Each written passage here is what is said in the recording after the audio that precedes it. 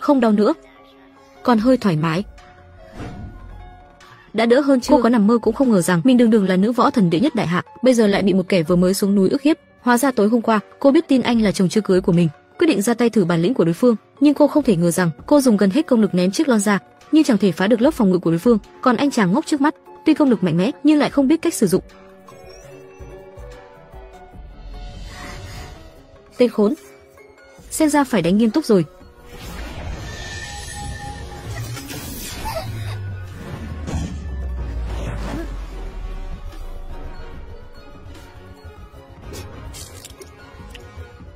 Anh ta còn trẻ như vậy, sao có thể là võ thánh được? Mình không tin.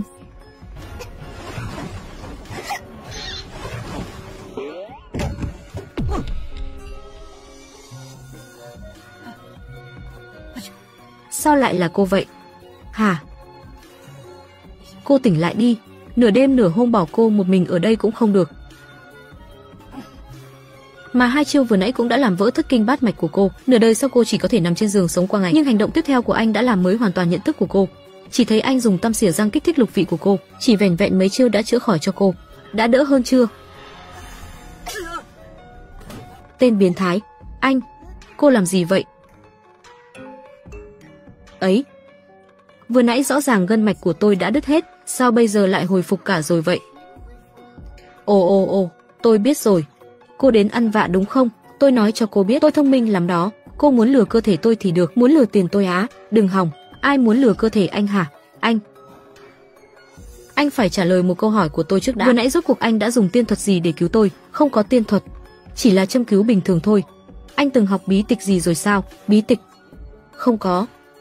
Nhưng mà 300 bài thơ đường thì tôi có thể đọc vanh vách đấy. 300 bài thơ đường, ừ. Hình như nó còn một cái tên khác là Thái Huyền Vô Cực Công. Thái Huyền Vô Cực Công, anh luyện đến tầng thứ mấy rồi? Cô cũng biết à? Tôi đã tốn thời gian nửa năm mới học thuộc hết được nó đấy, bây giờ chắc là đến tầng thứ 9 rồi. Nửa năm? Mà anh đã học thuộc hết rồi sao? Đúng vậy. Tôi lại tốn thời gian nửa năm nữa để học thuộc lại nó. Nhưng mà tôi nói với ai người ta cũng không tin, khó khăn quá. Luyện Thái Huyền Vô Cực Công đến tầng thứ 9. Vô tiền khoáng hậu, đây là cảnh giới thần tiên lục địa trong truyền thuyết, thần tiên lục địa hơn 20 tuổi, người bình thường nào tin được chứ, hình như cô không tin thì phải. Hay là hai ta tỉ thí đi. Ấy đừng đừng đừng. Tôi tin, tôi tin. Nhàm chán. Tuy người có hơi ngốc, nhưng cũng coi như là đủ tư cách làm chồng chưa cưới của Nhan như mình. Được thôi, được thôi. Tôi chấp nhận anh là chồng chưa cưới của tôi, bây giờ anh hãy theo tôi về nhà, hai chúng ta tranh thủ đi đăng ký kết hôn. Ấy ấy, cái gì mà đăng ký kết hôn hả? Chúng ta phát triển nhanh vậy sao? Đến cô tên là gì tôi còn chẳng biết. Hơn nữa tôi đã có vợ chưa cưới rồi. Cô ấy tên là Nhan Như. Cô ấy chính là nữ võ thần trẻ tuổi nhất đại hạ, là nữ chủ tịch sở hữu tài sản bạc tỷ. Anh cũng không soi gương xem, Nhan Như có thể để mắt đến anh sao? Tôi tốt bụng cứu cô, cô lại phá đám tôi đúng không? Không cần biết thế nào, chúng ta không thể đâu. Cô có thích tôi nữa cũng vô dụng. Ấy, ai thích anh hả? Nhưng mà không ngờ, anh còn là một người đàn ông trung tình. Chuyện đó thì cô nói đúng rồi, không có người đàn ông nào tốt hơn tôi đâu. Được rồi, không nói nữa, ngày mai tôi còn phải đi gặp vợ chưa cưới của tôi nữa. Nếu như tôi nói với anh rằng, tôi biết vợ chưa cưới của anh, nhan như ở đâu, anh có muốn nghe không? Đương nhiên là muốn rồi. Ấy, không đúng, sao cô lại bất ngờ nói với tôi những chuyện này? Có phải cô muốn lấy được gì đó từ chỗ của tôi không? Không. Anh đã cứu tôi. Tôi báo đáp anh là chuyện rất bình thường, cũng đúng, tôi còn tưởng cô thèm khát cơ thể tôi chứ. Anh được lắm Diệp Thiên. Ở trong mắt anh, tôi vã đến vậy sao? Tôi không tính toán. Ngày mai Nhan Như sẽ đến dự bữa tiệc tối do Phủ Thiên Sư tổ chức ở Vân Phủ Thiên Cung. Anh có thể đến gặp cô ấy, Phủ Thiên Sư. Đến đó không phải là tự chui đầu vào lưới sao? Thôi bỏ đi, chỉ cần có thể tìm được vợ, cô ấy nhất định sẽ cứu mình. Nhưng Phủ Thiên Sư chỉ gửi thiệp mời cho những người có máu mặt nhất đại hạ. Anh, đã nhận được chưa? Thế thì khó rồi. Không có thiệp mời thì không vào được đâu. Vậy vậy vậy phải làm sao? Nhưng tôi vẫn còn một cách. Chỉ là xem anh có đồng ý làm hay không. Cô xem cô xem cô xem, quả nhiên là cô thèm khát cơ thể tôi mà. Tôi nói cho cô biết, tôi sẽ không bán rẻ cơ thể mình đâu. Anh. Đầu óc anh toàn chứa mấy cái gì vậy? Tôi đẹp hơn anh, nhiều tiền hơn anh, tôi ham muốn anh làm gì? Được.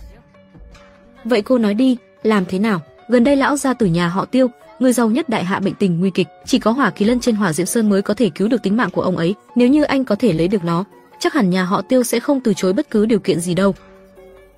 Còn hỏa diệm sơn, cô muốn tôi bỏng chết à? Không đi không đi. Đây là cơ hội duy nhất của anh đó. Tôi có xịt chống nắng gia truyền. Hiệu quả cách nhiệt rất tốt. Anh cứ yên tâm đi. Xịt chống nắng phòng hỏa diệm sơn. Chuyện này có tin được không đây? Cô nghĩ cách khác đi. Cách khác cái đầu anh ấy, nếu như anh không đi, cả đời này anh đừng hòng gặp được Nha Như, tôi. Diệp Thiên, chỉ có vượt qua thử thách, nêu cao tên tuổi, anh và tôi mới có thể danh chính ngôn thuận ở bên nhau. Chặn miệng người đời. Vậy được, tôi tạm tin cô một lần. Nhưng tôi cảnh cáo cô, nếu như bị bỏng chết, ngày nào tôi cũng sẽ biến thành ma, đêm đêm đến tìm cô. Được được, tôi biết rồi. Vậy thì ngày mai gặp. Tiêu tiểu thư. Đại tiểu thư, Trương Thiên Sư đã vào đó hai tiếng rồi mà vẫn chưa ra ngoài. Hỏa Diệm Sơn này đúng là nguy hiểm.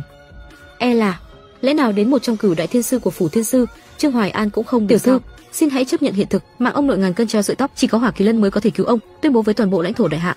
Nhà họ Tiêu tăng tiền thưởng 5 tỷ, 10 tỷ, tiểu thư, mấy hôm nay đã có hơn 100 người đến rồi, không một ai còn sống, có tiền mua tiên cũng được.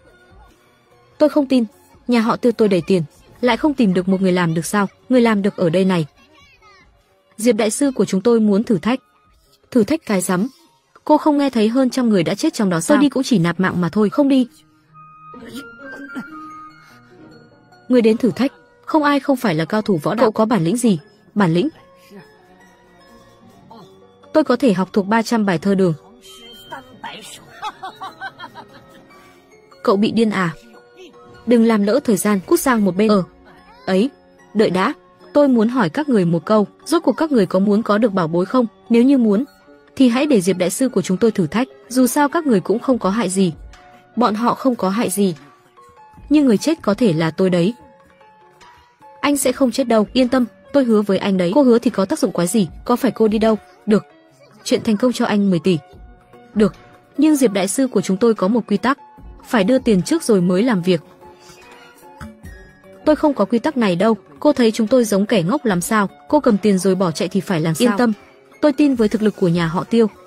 Chắc là sẽ không lo không tìm thấy chúng tôi đâu. Cô cũng coi như có chút tự biết mình. Trong chiếc thẻ này có 10 tỷ. Nếu như cô dám trêu đùa tôi, tôi có phải lật cả thành phố này lên cũng sẽ bắt các người trả giá. Được. Diệp Thiên, Diệp Thiên, anh được lắm, anh vứt vợ chưa cưới của anh ở đây rồi bỏ chạy một mình đúng không? Rời à? Cái gì mà vợ chưa cưới? Chúng ta mới gặp nhau bao lâu hả? Hơn nữa, là cô đồng ý với tôi có đồng ý với bọn họ đâu. Anh đã không còn đường lui rồi. Nếu như Tiêu tiểu thư biết anh đang chơi đùa cô ta, hậu quả sẽ càng nghiêm trọng hơn. Cô đúng là, tôi bị cô hại chết rồi. Vậy được, tôi đồng ý với cô, nhưng tôi có một yêu cầu. Đừng có được nước lần tới, 10 tỷ đã đủ khiến cậu trở thành người giàu nhất vùng rồi. Anh nói đi, tôi còn muốn một tấm thiệp mời của phủ thiên sư. Chỉ vậy thôi hả? Ừ. Được, tôi đồng ý với anh. Tiên sinh, mời lên đường. Lên đường. Này này này, cái xịt chống nắng mà cô xịt cho tôi, rốt cuộc là có tác dụng không đấy? Ba đổi trả nếu phát hiện là hàng giả, giả đền gấp 10. Không được, cô đền gấp 10. Ôi giời, anh mau đi đi.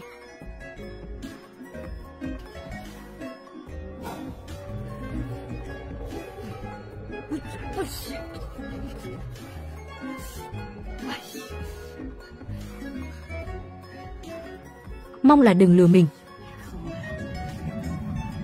Cứu tôi với.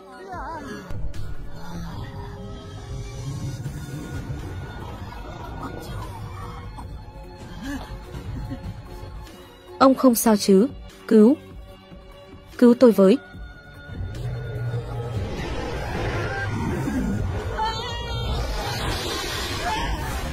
Tiểu thư, một tiếng đã qua rồi mà vẫn chưa ra ngoài, nhất định là một tên lừa đảo. Mọi người bình tĩnh, đừng nóng vội, mới có một tiếng thôi. Biết đâu anh ta lạc đường thì sao? Cậu ta đang kéo dài thời gian, nhất định là còn có âm mưu khác. Xin cô cho phép tôi dùng cách thức đặc biệt. Cam đoan cô ta sẽ khai ra mục đích của hành động này. Lên. Dừng tay. Người này còn trẻ như vậy mà đã có tu vi võ thần, Đại hạ có nhân vật như này từ lúc nào vậy? Nếu đã chọn Diệp tiên sinh, thì chúng ta hãy đợi thêm một lát nữa, các anh không đánh lại được người phụ nữ giấu đầu lòi đuôi trước mặt này đâu. Này, mấy người làm gì vậy? Giúp một tay với. Trương Thiên Sư, tôi vừa nhìn thấy ông ta nằm ở cửa, nên đã tiện thể cõng ông ta về luôn, nói láo. Trương Thiên Sư chính là một trong cửu đại thiên sư của phủ thiên sư, cậu nói ông ấy ngã ở cửa, cậu có chứng cứ gì không? Vừa nãy khi tôi ở trong đó đã nhặt được cái này, cô xem đây có phải thứ mà các người muốn không? Đây, đây. Cái này nóng lắm, anh phải cẩn thận đấy, cậu không việc gì. Tôi việc gì phải sợ, đưa tôi.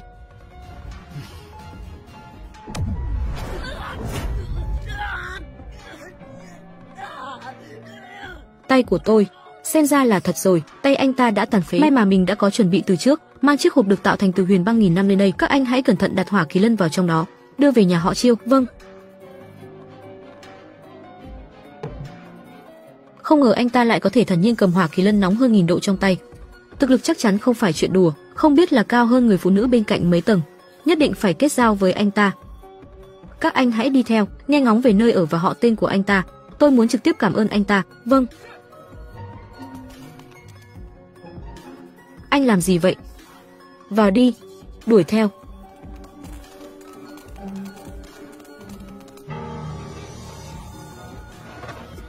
Nhìn anh sợ hãi kìa, tôi có thể không sợ sao, thứ đó là tôi nhặt đại bên đường, nó có thể là hỏa kỳ lân sao? sao anh biết là không phải, cô nghĩ thử xem.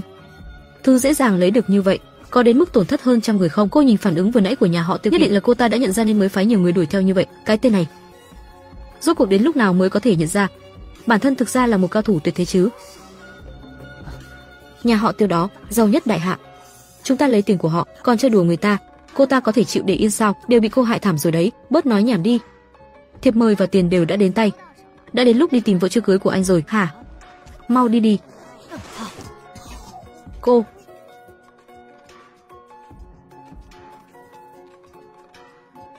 Người đâu?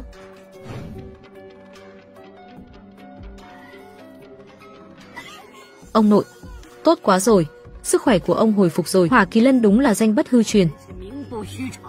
Cháu, mau mau, tìm người đưa đến đây. Ông muốn trực tiếp cảm ơn cậu ấy. Diệp đại sư có hỏi cháu về thư mời tiệc tối của phủ thiên sư. Cháu nghĩ chắc là anh ấy sẽ đến đó. Ừ. Tối nay Vân phủ Thiên cung nhất định sẽ là nơi quyền quý tụ họp. Cháu hãy nhanh chóng đến đó. Thay mặt cho nhà họ Tiêu, toàn lực giúp đỡ Diệp tiên sinh.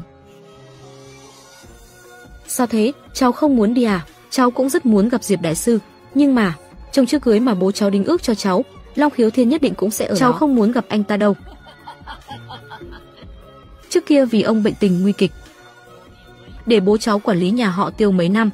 Bây giờ ông bình phục rồi, xem bọn họ còn ai dám tự tiện quyết định hôn sự cho cháu gái bảo bối của ông. Cháu cảm ơn ông, mau đi đi, chuyện không thể chậm trễ. Nhan Như, anh đến rồi. Đứng lại, không liên quan không được vào, tôi đến tìm người mà. Anh cho tôi vào đi, tìm người. Tôi thấy anh chán sống rồi đấy, anh tên là gì, tìm ai, tôi tên. Không được, không thể nói cho họ biết được. Lỡ như tạ phỉ phỉ đã báo tên mình lên rồi. Chẳng phải là xong đời sao. À chào anh, tôi tên là Diệp Thiên. Sao anh lại ở đây vậy? Phỉ phỉ, thằng ăn xin này là ai Anh vậy? ta chính là chồng chưa cưới mà người ông nội hồ đồ của em đính ước cho em. Em có chồng chưa cưới hả? Ôi chao, người anh em à, khuyên anh một câu, phụ nữ phạm sai lầm, có một lần thì sẽ có vô số lần. Anh vẫn nên cẩn thận chút thì hơn. Đừng để đến lúc chiếc sừng này cắm lên đầu anh. Anh. Anh Thiên Minh. Ngụy tạo thư mời. Ý đồ xấu xa, chính là đại bất kính với phủ thiên sư. Người đâu? Bắt lấy anh ta cho tôi. Ấy, các người muốn làm gì?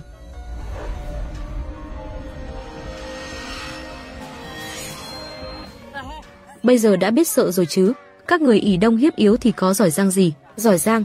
Thực lực của mỗi một người trong tứ đại kiếm sĩ Mai Lan Trúc Cúc dưới trướng tôi đều đủ để giết anh 10 lần. Các người nghĩ tôi dễ bắt nạt đúng không? Bữa tiệc sắp bắt đầu rồi, chúng ta vào trước đã. Các chị gái xinh đẹp, chúng ta không thủ không oán, không cần thiết phải đánh đánh giết giết chứ. Hôm nay thằng em còn có chuyện quan trọng phải làm. Bớt nói nhảm, ra tay.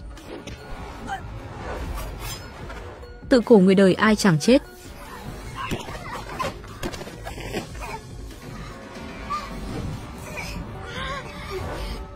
Bọn họ làm sao vậy? Bọn họ làm sao vậy?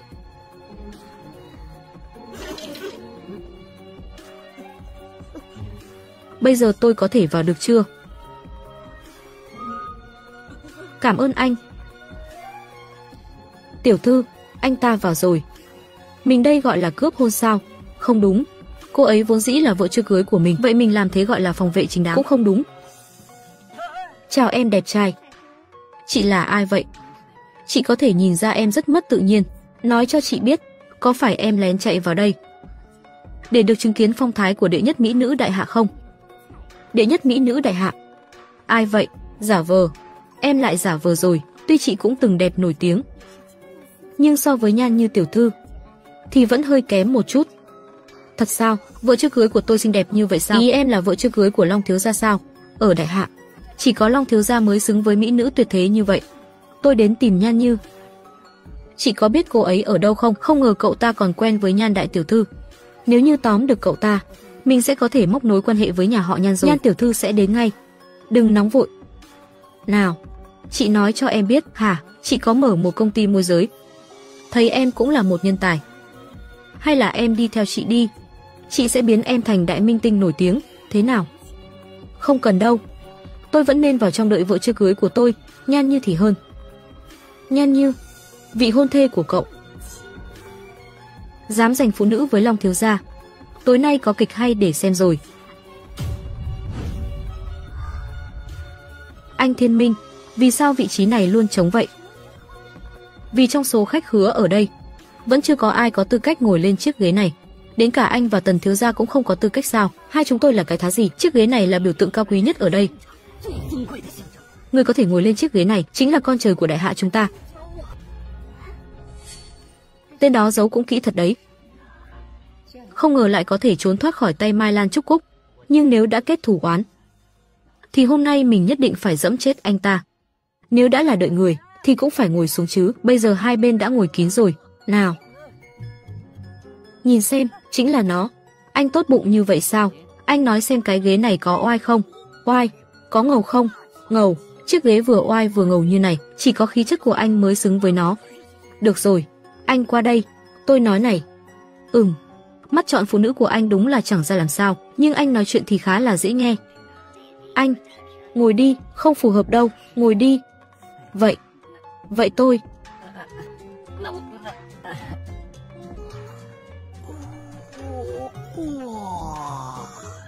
Anh ta ngồi rồi, Cậu ta có thân phận gì vậy? Không ngờ cậu ta lại dám ngồi ở đó. Anh ta ngồi rồi. Không ngờ anh ta lại dám ngồi ở đó. Đúng là tài lực hùng hậu. Nhưng nhìn anh ta rất lạ mặt, không biết là thiếu gia nhà hào môn nào. Chắc không phải là nhầm lẫn đó chứ. Không cần biết có phải nhầm lẫn hay không, chỉ cần anh ta ngồi xuống thì sẽ phải trả giá. Nếu như không lấy ra được sinh lễ tử tế, phủ thiên sư sao có thể tha cho anh ta được? Tên này đúng là không biết trời cao đất dày. Anh được lắm Diệp Thiên, ra ngoài mà cũng không biết mang theo não. Người ta lừa đại một tí mà đã ngồi xuống rồi. Sau này nếu như kết hôn với anh ta, liệu có ảnh hưởng đến IQ đời sau không? Vậy giờ thuộc hạ sẽ đi thủ tiêu anh ta. Bỏ đi bỏ đi, cô không phải đối thủ của anh ta. Mọi người đều nhìn tôi làm gì vậy? Chiếc ghế này có vấn đề gì à? Không có vấn đề gì. Chỉ có điều anh phải trả tiền. Trả tiền. Tôi chỉ ngồi một chỗ thôi mà cũng phải trả tiền á. Phù Thiên Sư cũng keo kiệt quá rồi đấy. Ôi chao, khỏi phải nói, chiếc ghế này ngồi cũng thoải mái đấy. Bao tiền? 50 tệ, 100 tệ. Tôi nói này, anh đúng là một kẻ thua cuộc bước chân ra từ một vùng núi Anh cũng mà. chỉ có chút kiến thức này thôi. Cô ta có ý gì? Không có ý gì cả. 50, 100. Anh nghĩ Phủ Thiên Sư là ăn xin đấy hả? Tổng quản của Phủ Thiên Sư đến. Tổng quản của Phủ Thiên Sư đến rồi. Anh bảo ông ta giải thích cho anh đi. Vị tiên sinh này, chiếc ghế mà cậu ngồi là chỗ ngồi cao quý nhất buổi tiệc đính hôn này. Dựa theo quy tắc, cậu nên lấy ra quà mừng tương đương với nó. Hả, ông? Biết ngay là anh không có ý tốt mà, khoản tiền này không phải con số nhỏ đâu. Mình không thể coi tiền như rác được. Long Tổng Quản đúng không? Ông xem, tôi không ngồi chiếc ghế này nữa, tôi đứng ở đây đợi người có được không? Như vậy thì không cần phải trả tiền nữa đúng không? Tiên sinh muốn lật lọng sao? Ấy đừng đừng đừng. Có gì từ từ nói, quy định của phủ thiên sư, một khi đã ngồi xuống thì không được nuốt lời, hoặc là tặng quà mừng, hoặc là bị ném ra ngoài và truy cứu trách nhiệm liên quan. Xin hỏi tiên sinh chọn cái nào? Tên này vướng phải rắc rối lớn rồi. Tên Tô Thiên Minh này đúng là lòng dạ xấu xa, lừa Diệp Thiên Thảm như vậy. Tiểu thư, có cần cứu không? Anh ta không lấy ra được số tiền này đâu. Không cần đâu. Nếu đến cả rắc rối còn con này mà anh ta cũng không giải quyết được, thì sao làm chồng của tôi được? Xem kịch tiếp. Diệp Thiên, anh điếc rồi hả? Long tổng quản hỏi anh nó. Hai con đường, anh tự chọn đi. Đừng có ồn ào, phiền chết đi được. Diệp tiên sinh, chúng tôi không có nhiều thời gian để dây dưa với cậu đâu. Nếu như mình bị đuổi ra ngoài thì mọi thứ sẽ đổ sông đổ bể mất. Được được được, tôi trả được chưa? Bao nhiêu tiền? Chỗ ngồi của cậu là cao quý nhất. Theo quy tắc, quà mừng ít nhất cũng phải 10 tỷ. Bao nhiêu? 10 tỷ hả? Diệp tiên sinh, mời quẹt thẻ. Quẹt thẻ đi, quẹt cái đầu ông. Tôi chỉ ngồi trên ghế của mấy người chút thôi mà. Kim cương rát vàng, cũng không thể đắt như vậy được, 10 tỷ. Ông biết sau 10 tỷ này có bao nhiêu số không? Sau không? 10 tỷ có tận 10 số không cơ đấy. Cái đồ nhà quê thiếu hiểu biết. Diệp Thiên, 10 tỷ thôi mà. Được phủ thiên sư coi trọng. Là chuyện mà bao nhiêu gia tộc và thế lực nằm mơ cũng muốn có được đấy, ấy thế mà anh lại chê đắt. Đúng là mất thể diện thật đấy. Nếu tôi mà tiền bạc dư giả, chắc chắn sẽ ngồi vào vị trí đó. Thằng này không có một xu nào, giả vờ tỏ ra nguy hiểm làm gì? Mau bảo hắn ta cút đi, đây là thế giới của người có tiền. 10 tỷ mà không đắt à? Đám có tiền mấy người hết sức xa xỉ rồi đấy. Nghe ý của cậu như vậy là không muốn bỏ ra số tiền này sao? Đừng đừng đừng, tôi bỏ ra, tôi bỏ ra được chưa? Số tiền đó của nhà họ Tiêu sau này cũng cần phải trả lại, đành phải, đây là toàn bộ gia sản của mẹ tôi, cậu cầm đi đi. Cô cô à, cô thật tuyệt vời. Đưa đây.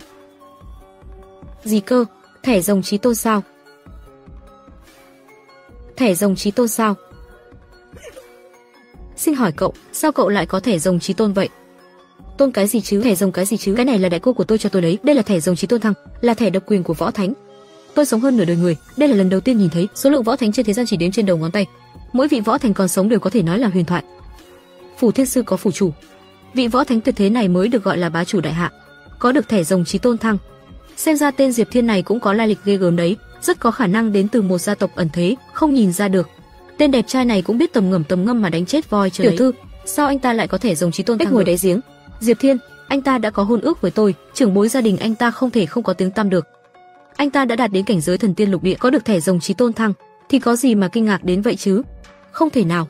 Diệp Thiên, anh rốt cuộc là thần thánh phương nào? Cả cô cô của anh. Cô ta không phải võ thánh đấy Không chứ. thể nào.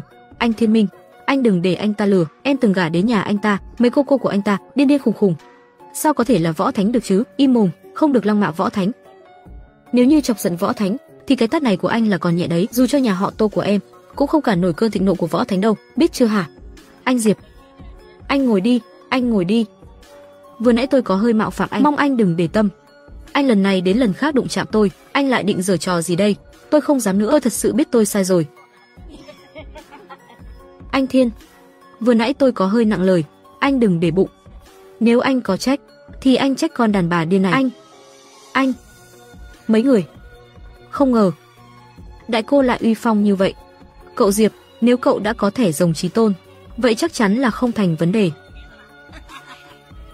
Số dư không đủ, số dư hiện tại 1 đồng 68 xu.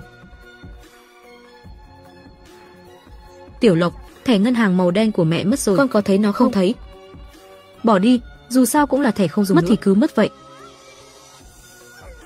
Số dư không đủ, số dư hiện tại 1 đồng 68 xu. Gì cơ? Mấy người đều bị anh ta lừa rồi. Cái gì thẻ rồng trí tôn, cái gì võ thánh, số dư một đồng 68 xu. Có chẵn có lẻ, nực cười chết mất. Con người anh ta thế nào, tôi nắm rõ trong lòng bàn tay, cái tên nghèo này. Lấy hết tài sản nhà anh ta, gộp lại cũng không đủ 10.000 đồng nữa ấy chứ. Còn cái tên võ thánh mà mấy người nói ấy, thì càng nực cười hơn, ba cô cô nhà anh ta. Cộng lại với nhau cũng đánh không hơn sư phụ tôi. Làm gì có võ thánh nào yếu như thế? Cái tên ăn mày này, mày lừa tao đấy hả? Đồ ăn mày, hôm nay mày đừng mơ sống sót rời khỏi đây. Ái chà, anh buông ra, không phải hai người tự dựng chuyện đấy sao? Tôi ép hai người đấy hả? Anh nói xem bây giờ xã hội văn minh rồi, đừng cứ lúc nào cũng đánh đánh giết giết được không? Mày dùng kỹ năng diễn xuất kém cỏi của mày, lừa tất cả bỏ tao. Tối hôm nay mày đừng mơ đứng thẳng người rời khỏi đây. Cậu đây chắc hẳn không có được 10 tỷ này rồi. đánh hắn cho tôi. Để tôi xem xem, kẻ nào dám gây chuyện trong buổi tiệc đính hôn của anh tôi. Là thằng danh này sao? Không phải, vừa hay nhị thiếu gia đến.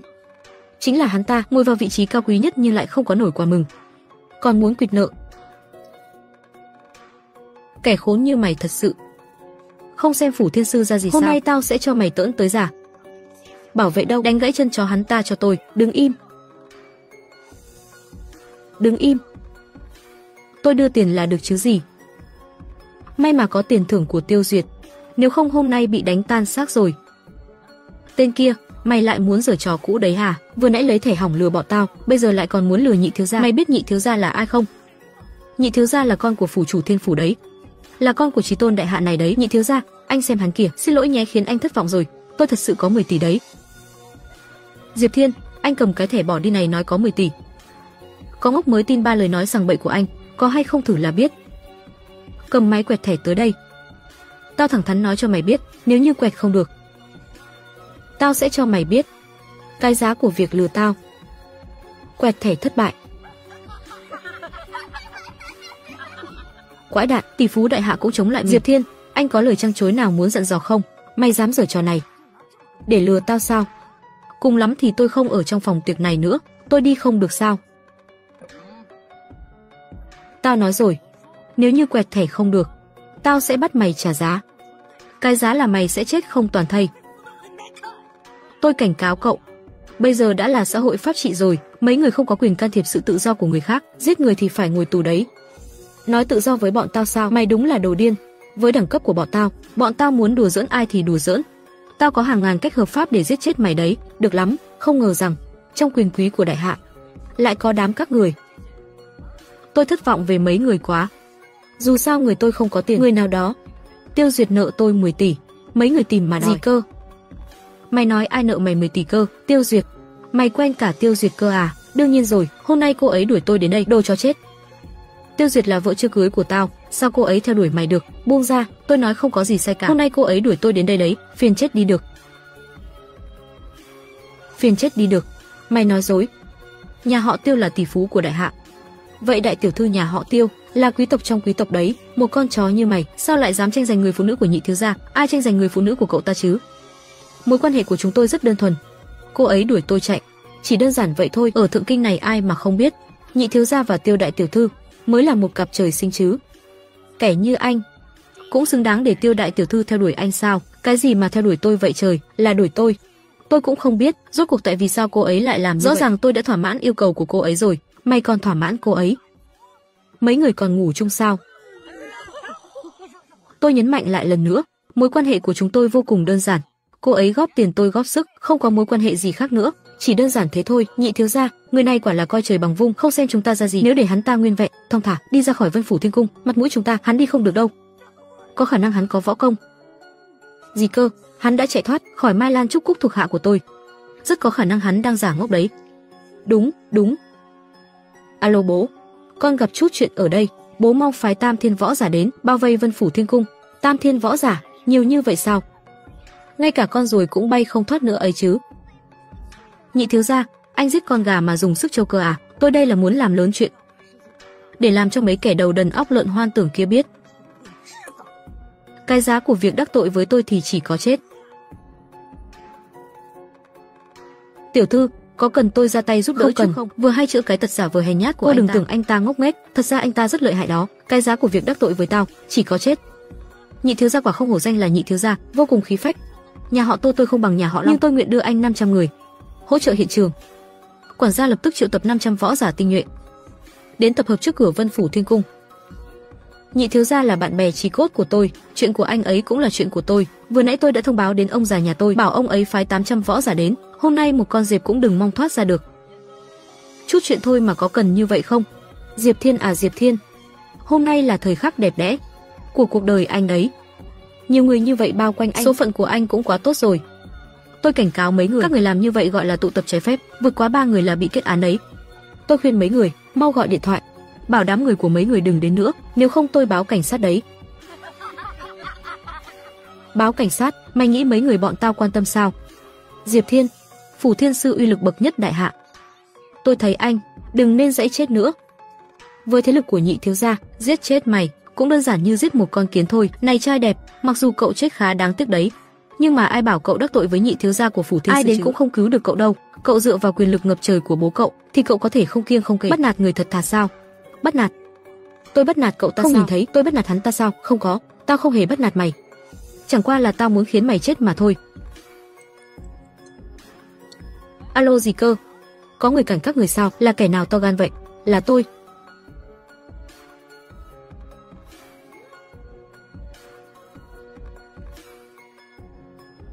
Tiêu Duyệt đại tiểu thư sao cũng đến đây vậy? Vị Thiên Kim đại tiểu thư này là nhân tài của giới kinh doanh đấy, Tiêu thị có thể trở thành tỷ phú đại hạ, ít nhất cũng có một nửa công sức cô ấy đấy, một người kết hợp cả xinh đẹp lẫn giàu có. Nhị thiếu gia quả thực có phúc lớn. Toang rồi.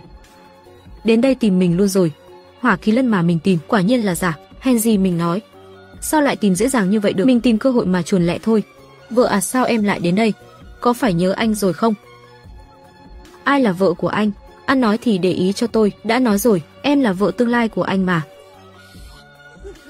Anh mơ mộng hảo huyền đấy hả? Tiêu Duyệt, em, Tiêu gia chủ và bố anh, ba năm trước đã đặt ra hôn ước cho chúng ta. Lẽ nào em muốn chống lại lời của gia chủ? Còn dám uy hiếp chính thức nói anh biết, bây giờ gia chủ nhà họ Tiêu là ông nội tôi. Tôi nghĩ hôn ước của chúng ta cần phải bàn bạc lại đấy. Vậy nên thời gian của chúng ta đã bị đẩy lùi. Ông nội em, lão già đó không phải đã sắp chết. Anh mới sắp chết đấy. Tránh ra cho tôi, có thể nào đừng đánh một bên mặt anh không? Anh nói cho em biết, Tiêu em đừng tưởng em là vợ chưa cưới của anh, nên em muốn làm gì thì làm đâu. Em đừng tưởng em là vợ chưa cưới của anh, nên em muốn làm gì thì làm đâu. Đây là cái tát cuối cùng. Đánh là vì anh dám bất kính với tư nhân. Thú vị đấy. Đường đường là nhị thiếu gia của phủ thiên sư, bị tát nhiều như vậy mà không hề đánh trả. Anh ta quả thực say mê đám núi, tiêu diệt mất rồi. Tiểu thư, tôi nghĩ anh ta là một kẻ lụy tình đấy. Lụy tình, lụy tình, lụy đến cuối cùng chẳng còn cái gì. Nhớ không nhầm, anh là tần khắc nhà họ tần. Tiêu tiểu thư, ba năm nay, nhà họ tần nhận được không ít đơn hàng từ nhà họ tiêu, tôi nói đúng chứ? Đúng hả? Là nhờ có nhà họ tiêu nâng đỡ và sự giúp đỡ của nhị thiếu gia, ông tôi nói rồi. Phải cân nhắc lại quan hệ hợp tác với nhà họ tần hợp tác của chúng ta tạm thời chấm dứt. Không phải chứ? Tiên nhân tôi đến trễ rồi. Mong anh tha thứ. Tôi đến muộn rồi, mong anh tha thứ, xem ra hỏa kỳ lân có hiệu nghiệm. Nhà họ tiêu nhất định sẽ huy động toàn lực để bảo vệ Diệp Thiên, vậy mình có cần xuất hiện không? À không đúng, mình cần phải xuất hiện. Hôm nay là tiệc đính hôn của mình mà, Diệp Thiên, anh cưới được tôi không? Thì phải xem bản lĩnh của anh. Tiên nhân, Cô vừa gọi tôi là gì cơ? Nhờ có anh, ông tôi hồi phục bình thường rồi.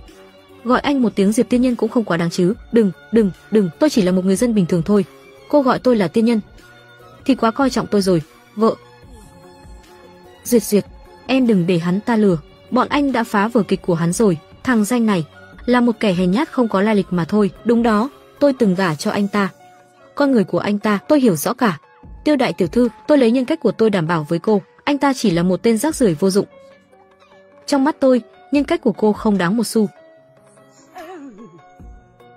Tiêu tiểu thư, tên này ngồi vào vị trí tôn quý nhất, nhưng lại không có nổi quà tặng 10 tỷ. Chúng tôi dạy dỗ hắn ta, cũng là điều đương nhiên mà. Đúng, đúng, đúng. Thẻ của tiên nhân là đích thân tôi đưa cho, sao lại trả không nổi chứ? Cô còn đứng đó nói nữa. Mau làm chứng cho tôi với bọn họ, là cô thật sự đã nợ tôi 10 tôi tỷ. Tôi làm chứng, nhà họ Tiêu tôi là tỷ phú đại hạ. 10 tỷ còn con, cũng chỉ là quà gặp mặt tôi dành cho tiên nhân thôi, mấy người cũng dám chất vấn sao? cô lấy thẻ lại đi. Hôm nay làm tôi mất mặt chết đi được ấy. Thật sự xin lỗi tiên nhân. Vì tôi sơ suất, dẫn đến thẻ tôi đưa cho anh là thẻ đen chưa kích hoạt. Thôi bỏ đi, chuyện đã qua rồi. Xử lý xong là được rồi. Để bù đắp cho lời xin lỗi của Đây tôi, là thẻ cửu tinh kim độc quyền của nhà họ Tiêu chúng tôi, trong đó không chỉ có nghìn tỷ, hơn nữa có thể sử dụng mọi tài nguyên của nhà họ Tiêu, mong tiên nhân nhận cho. Mong tiên nhân nhận cho. Vận may của tên này cũng quá tốt rồi. Trời ơi, một bước trở thành người có thể sánh ngang với tỷ phú đại hạ. Thế giới này thay đổi cũng nhanh quá rồi đấy chứ. Không, không, không, món quà này quá đắt tiền rồi, tôi chẳng qua là người nhật hỏa kỳ lân. Đưa cho cô mà thôi, tôi cũng không làm gì khác. Hỏa kỳ lân là hỏa kỳ lân ẩn mình trong hỏa diễm sơn 10.000 năm sao. Hỏa Kỳ Lân, người ta nói rằng Hỏa Kỳ Lân có thể chết đi sống lại, vùng đất hoang đó ngay cả bố tôi cũng không trụ quá 10 giây, sao hắn lại có thể vào đó được? Nói không chừng là có vài người cầm Hỏa Kỳ Lân giả kém chất lượng để giờ trò lừa bịp đấy. Tiêu tiểu thư, cô nhất định phải mở to mắt ra, đừng để hắn ta lừa. Cần anh xen vào sao? Tôi có cách của mình. Tiên nhân mong anh nhận cho. Cái này không chỉ bày tỏ tôi chân thành xin lỗi anh, mà cả sự kính trọng của nhà họ Tiêu dành cho anh. Không, không, chiếc thẻ này quá đáng giá. Tôi mà nhận thì tôi ấy náy lắm. Cô lên giữ lại đi. Lỡ như nó là giả, mình tìm ai giải thích đây? Tiên nhân có ơn với nhà họ Tiêu chúng tôi, nếu đã như vậy, nếu như anh có mong muốn gì, tôi sẽ huy động toàn lực giúp anh hoàn thành. Có rồi. Tiến lại đây nói chuyện. Thật ra lần này tôi đến là muốn tìm Nhan Như. Cô có thể đưa cô ấy đến tìm tôi không? Anh muốn tìm Nhan Như sao? Anh muốn tìm Nhan Như sao? Được, được, cái tên này. Từ chối chiếc thẻ trăm tỷ là để tìm tôi sao? Sớm biết anh ngốc như tôi vậy. đã. Nhưng mà, có phải chứng tỏ rằng trong tim anh ta mình quan trọng hơn 100 tỷ không? Vậy thôi à? Đúng, vậy thôi, với cả thực sự tôi không biết quẹt thẻ. Mình biết ngay mà. Là vậy sao? Không biết dùng thẻ sao, ngay cả tiền tiết kiệm cũng không có sao. Này tên quê mùa, mày có biết bản thân mình đã bỏ lỡ sự giàu có to lớn thế nào không? Mày nên về dừng lại đi, anh bị điên hả? Tôi bằng lòng đấy, anh quản được Mày sao? nói ai điên hả? Đây là quyết định của tiên nhân, anh dám hoa tay múa chân sao? Tiên nhân, bất kỳ lúc nào. Chỉ cần tiên nhân muốn, nhà họ tiêu chúng tôi sẽ giúp đỡ anh hết sức. Tìm nha như đúng không? Bây giờ tôi làm ngay. Cô là người tốt. Thật xin lỗi, vừa nãy, tôi còn lén chửi cô. Không sao, ông tôi nói rồi, sau này anh là khách quý của nhà họ tiêu chúng tôi, ngang hàng với địa vị của ông tôi. Cô bị điên cái gì vậy? Tôi thấy mấy người mới bị điên ấy, Người này mấy ngày trước bị tôi hủy hôn. Bây giờ đã ngang vai ngang vế với tỷ phú đại hạ. Mấy người từng thấy chuyện nào hoang đường như vậy chưa? Nhị thiếu gia à, anh ta cướp vợ chưa cưới của anh, vợ chưa cưới đấy. Sao anh có thể bỏ qua cho anh ta chứ? Tên khốn kiếp này, sao vợ chưa cưới khác nữa vậy? Đợi đã. Sao mình lại tức giận vậy? Thuộc hạ mạnh dạn suy đoán, có thể là tiểu thư đang ghen ấy. Cô mới ghen ấy, cả nhà cô ghen thì có, vậy bây giờ thuộc hạ đi giết anh ta. Như thế thì không cần, dù sao cũng hủy hôn rồi, anh đứng lại. Long thiếu gia, chịu đựng được không cơ chứ? Diệp Thiên, tôi không thể để anh tiếp cận nhà họ Tiêu được, bất luận thế nào tôi cũng phải diệt trừ anh. Tiêu Duyệt, em tránh ra cho Hôm anh. nay dù cho em có nói đằng trời, anh cũng không bỏ qua cho hắn đâu. Anh có muốn thử không?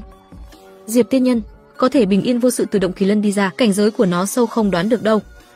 Nếu anh dám hành động thiếu suy nghĩ, thì sẽ mang họa tới cho phủ thiên sư đấy. Lời của em là thật sao? Nếu anh không tin, thì thử thử xem, nhị thiếu gia đừng để mấy chiêu trò này lừa. Nếu như anh ta thật sự có bản thì lĩnh, chịu để chúng ta đả kích lâu như vậy à? Nhưng hắn ta có bản lĩnh làm cho Hỏa Kỳ Lân tái thế đấy. Chuyện này giải thích kiểu gì đây? Hoang đường, Hỏa Kỳ Lân rõ ràng do tôi lấy ra. Hỏa Kỳ Lân rõ ràng do tôi lấy ra. Đây không phải là lão già mà Diệp Thiên cõng ra sao? Sao lại chạy đến đây? Đây không phải là Trương Thiên sư của phủ Thiên sư anh sao? Trương Thiên sư, ông nói vậy là sao? Mong nhị thiếu gia để tôi bình tĩnh giải thích. Bây giờ thế giới ngày càng loạn lạc rồi, chỉ mới một chút, công lao của tôi đã bị người khác cướp mất rồi. Ai dám cướp công lao của ông Nói vậy? cho rõ ràng đi, tôi mạo hiểm mạng sống của mình, trải qua gian nan cực khổ mới lấy được hỏa kỳ lân trong động kỳ lân ra, không ngờ rằng nửa chừng gặp phải một tên ngốc. Mấy người nói xem tôi nên tìm ai giải thích đây. Tôi nói rồi mà, người như anh ta sao lại có bản lĩnh ghê gớm như vậy được? Hóa ra đều là công lao của Trương Thiên sư. Thiên sư nói có rất hợp tình hợp lý, hỏa kỳ lân ông ấy lấy ra, vừa nói nghe cái là biết đáng tin liền mà. Ông ấy nói có lý lắm, tỷ phú nhà họ tiêu không biết nhìn người. Xem một tên lừa đảo là khách quý, nói ra nghe thật nực cười làm sao. Chàng trai này mặc dù ngốc ngốc nghếch nghếch, nhưng cũng không đến nổi cướp công người khác đâu. Chuyện này phức tạp, không đơn giản đâu. Lão già, ông nói cái khác thì tôi nhận, nhưng hỏa kỳ lân chính xác là do tôi mang ra mà. Lúc tôi nhìn thấy ông, ông đã ngất xỉu rồi. Nếu như tôi không đưa ông ra thì ông chết quách rồi còn đâu. Trương Thiên Sư, đừng nói năng bậy bạ, chính mắt tôi nhìn thấy. Diệp Thiên cõng ông ra. Tiểu duyệt duyệt của anh ơi, em hồ đồ quá. Sao em lại thả tin dăm ba lời ngông cuồng của tên chứ không tin này? lời của cao nhân phủ thiên sư vậy? Trương Thiên Sư đứng trong top 10 phủ thiên sư. Ông ấy nói ông ấy tìm được thì tôi tin, còn những lời của anh ta, ngay cả dấu chấm câu tôi cũng không tin.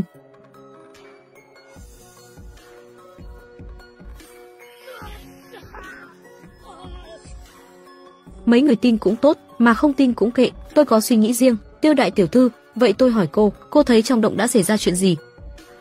Không có, đúng chứ, vậy sao cô chỉ tin lời nói của phía cậu ta thôi vậy? Bây giờ tôi nói sự thật cho cô biết, trong động Kỳ Lân, tôi đã chiến đấu với thần thú tận 300 hiệp. Vô cùng gian nan, mệt mỏi mới lấy được bảo vật, thần, thần thú. Sau đó gặp tên ngốc này. Tôi nhờ cậu ta cõng tôi ra khỏi động trên đường, tôi bị ngất, không ngờ mọi người lại tin ba lời sằng bậy của cậu ta. Có phải cậu ta miêu tả bản thân thành thiên hạ vô địch luôn rồi không? Làm gì có thần thú chứ? Ông nhìn thấy trong mơ đấy hả? Hỏa Kỳ Lân, món bảo vật này đương nhiên có thần thú canh giữ, lẽ nào cậu không nhìn thấy sao? Ông đọc tiểu thuyết nhiều quá rồi đấy. Lúc đó tôi đi trong động nửa tiếng đồng hồ. Còn bị lạc đường, tôi cứ đi, nhìn thấy được một vật phát ra ánh sáng, nên tôi nhặt đưa cho ông ấy. Tôi biết anh ta lạc đường mà, nhưng mà tôi cũng nghĩ Hỏa Kỳ Lân có thần thú canh giữ, sau này cảm thấy quá trình này quá đơn giản. Tôi cũng không đợi xác nhận, nên tôi chạy trước. Hóa ra là như vậy. Trương Thiên Sư, ông còn gì muốn nói không? Ăn nói vớ vẩn, đường đường là người giàu nhất nước đại hạ lại nghe lời dèm pha của một tên thấp kém. Cô có biết bản thân cô đang đối đầu với phủ thiên sư không? Mình đang đối đầu với phủ thiên sư không? To rồi, to rồi. Sao đến đâu mình cũng chọc phải phủ thiên sư vậy? Tôi tin với khả năng của Diệp Tiên Nhân sẽ dư sức bảo vệ nhà họ Tiêu. Ông cứ tới xem. Này, đừng, tôi làm gì có khả năng đó, đừng nói vớ vẩn. Với lại, đừng luôn miệng gọi tôi là tiên nhân gì đó nữa, cứ gọi tôi là Diệp Thiên là được. Vâng, Diệp Tiên, ấy, Diệp tiên sinh, nếu anh cần giúp đỡ thì cứ nói với tôi, tôi cần ấy. Đây là ân oán cá nhân của mấy người, tôi chỉ là người qua đường, đâu liên quan gì đến tôi. Bây giờ muốn phân rõ ranh giới hả? Nằm mơ đi, vinh dự tôi cao đến thế mà lại bị cậu xen vào, chính là sự xúc phạm to lớn đến phủ thiên sư. Được rồi, nếu ông đã muốn thì tôi sẽ nhường cho ông. Mọi người nghe rồi nhé, hỏa khí lân gì đó này. Đích thực là do vị trương thiên sư này mang tới, không liên quan gì tới tôi. Diệp Thiên, anh nghĩ mình hài hước lắm hả? Anh cướp công của trương thiên sư, mà còn đứng đây sủa gì đấy, thằng oát hôi này. Sao mà vẫn đáng khinh vậy? Dám mạo nhận công lao của người khác, tao mà là mày thì đã tìm một chỗ mà chui vào rồi. Tôi cũng muốn tìm chỗ chui lắm, nhưng mấy người có cho không? Tôi chỉ đến tìm vợ chưa cưới thôi mà. Sao lại lắm chuyện vậy? Một người, hai người, cứ ép tôi thành thế này, nghĩ tôi dễ tính, không biết nổi giận hả? Bắt nạt người quá đáng rồi đấy. Diệp tiên sinh nổi nóng rồi. Chẳng lẽ anh ta sắp ra tay rồi? Nghĩ tôi dễ tính, không biết nổi giận hả? bắt nạt người quá đáng rồi đấy. Tốt quá, có thể chiêm ngưỡng chiêu thức của tiên nhân ở cự ly gần như vậy, là vinh hạnh cả đời mình. Tôi cũng là con người, tôi cũng biết nổi nóng, có biết thế nào là chó cùng rất dậu không? Chó cùng rất dậu. Tôi không thể dùng từ này để nói về mình à? Mà thôi kệ. Nói chung là ý đó đấy, đừng cứ bắt nạt người hiền lành vậy. Diệp tiên sinh, anh xuất chiêu có cần bảo mọi người lùi ra không? Tôi chỉ muốn dọa họ thôi. Cô không thấy ở ngoài có đến mấy nghìn người à? Không dọa họ thì chạy thế nào được? Tránh ra, tôi vốn không muốn ra tay. Là mấy người ép tôi đấy.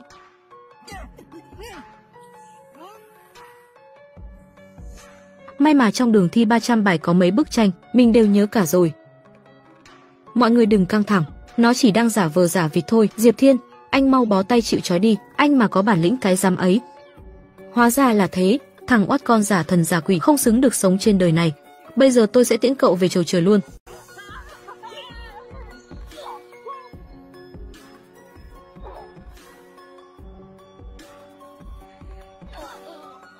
Quả nhiên mình không nhìn sai, thằng cha này cứ phải ép mới chịu ra tay. Trương Thiên Sư bị sao vậy? Sao lại ngủ trên sàn nhà? Sức mạnh này ít nhất cũng là võ thần đỉnh cao. Trong các võ giả trẻ tuổi của đại hạ, người mạnh nhất là anh trai mình, nhưng anh ấy cũng phải 30 tuổi mới lên tới võ thần đỉnh cao, không ngờ thằng danh này mới 20 tuổi đã. Mạnh quá. Chẳng lẽ sư phụ mình to rồi, to rồi. Mình đắc tội anh ta rồi, mình phải báo cho bố mau đưa người quay về mới được. Bố, bảo họ đừng đến đây nữa, ở đây có yêu quái. Không hổ là người đàn ông mình nhìn chúng, thực lực thật phi phàm, nếu có thể lấy anh ấy, thì ở đại hạ này nhà họ Tiêu có thể đánh đâu thằng đó rồi.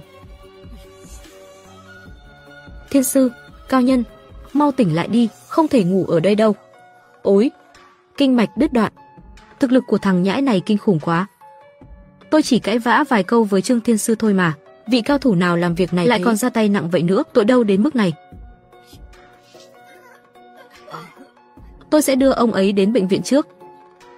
Trương Hoài An của phủ thiên sư cậy già lên mặt, buôn danh bán tiếng còn mạo nhận công lao của người khác, ý đồ hại người vô tội. Đây chỉ là chút hình phạt nho nhỏ cho ông ta thôi. Chẳng lẽ vừa rồi là bà? Không sai. Chính là tôi. Làm thương nhân, phải luôn biết nắm bắt thời cơ. Rõ ràng cậu em này đang giả ngốc, không muốn thừa nhận Vậy thì để mình phối hợp với cậu ta. Đúng vậy. Chính là tôi. Bà ta là ai? Nếu tôi nhớ không nhầm thì bà ta lẻn vào đây, hình như có mở một công ty túi sách ra. Vậy là kẻ lừa đảo rồi. Cũng to gan lắm. Cảm ơn tiền bối đã ra tay tương trợ. Là, là cô đã đả thương tôi, tôi với cô không thủ không oán. Tại sao lại đả thương tôi? Chị đây ghét nhất là loại người nhân cách đê tiện. Ông dám nhảy nhót làm trò trước mặt tôi, đó là tự ông muốn chết. Tiền bối, hóa ra chị chính là nhân vật ẩn mặt đó. Trương Hoài An, ông nhìn cho rõ đi. Cậu em ngây thơ, đẹp trai thế này. Sao ông lại nỡ ra tay được vậy? Ông không thấy lương tâm cắn rứt à? Con mụ già, con hồ ly tinh, cô thấy sắc là ham thì thôi đi. Vậy mà lại còn đả thương tôi. Cô không sợ đắc tội với phủ thiên sư hả? Nhị thiếu gia. Người này lai lịch không rõ, thực lực không đoán được. Mình không nên thò mặt ra làm gì, con lừa già. Ông nhìn nhân phẩm của mình đi, bị mọi người khinh thường hết kìa. Đến nhị thiếu gia nhà ông, cũng không muốn đứng về phía ông. Nhị thiếu gia, cậu nói xem có đúng không? À phải, phong tỏa mọi lối ra. Dám đắc tội phủ thiên sư. Hôm nay không ai có thể rời khỏi đây.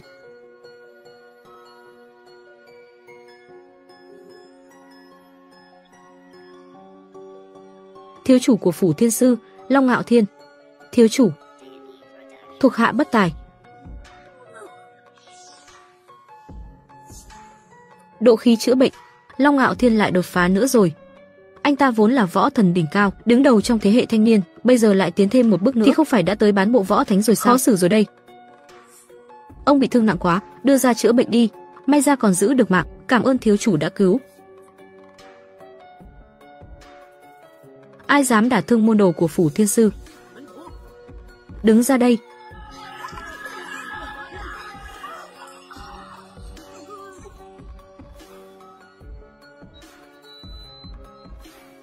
Chúc mừng thiếu chủ công phu lại thăng tiến. Nhìn cả đại hạ này, thiếu chủ chính là người không có đối thủ. Cũng coi như anh có mắt nhìn, thiếu chủ xuất hiện, gần như có thể kiểm soát toàn bộ tình thế ở đây. Diệp Thiên, hôm nay chính là ngày chết của anh. Anh ơi, anh đến đúng lúc lắm.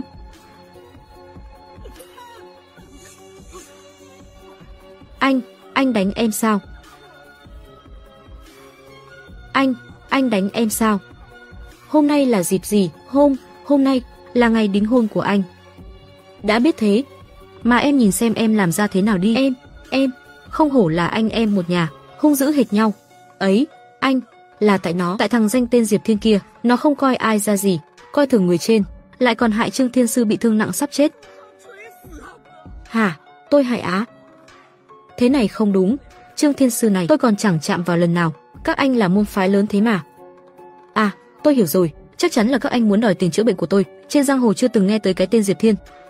Thằng oát con, mày ở đâu chui ra đấy? Tôi ở tiêu giao cốc tới. Tuy trông anh rất trâu bò, nhưng vẫn lịch sự hơn họ nhiều. Tao chỉ không giết người vô danh thôi.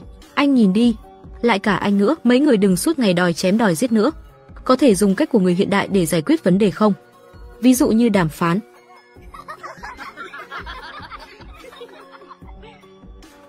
Đàm phán. Diệp Thiên, anh có biết tự nhận thức không vậy? Dám đàm phán với thiếu chủ á? Anh xứng chắc. Được chết trong tay thiếu chủ. Diệp Thiên, với mày thế cũng đủ để ngậm cười chín suối rồi nhỉ? Với mày thế cũng đủ để ngậm cười chín suối rồi nhỉ? Anh trai, anh xem, chúng ta vừa gặp mặt thôi, hay là làm quen trước nhé? Rồng trên trời không cùng bầy với kiến dưới đất, cho mày 10 giây. Còn có gì ngôn gì thì nói đi, sao đám người phủ thiên sư đều giống nhau vậy? Động một cái là muốn lấy mạng người ta. Từ một ông thầy dạy ra hết đấy hả? Đã hết giờ.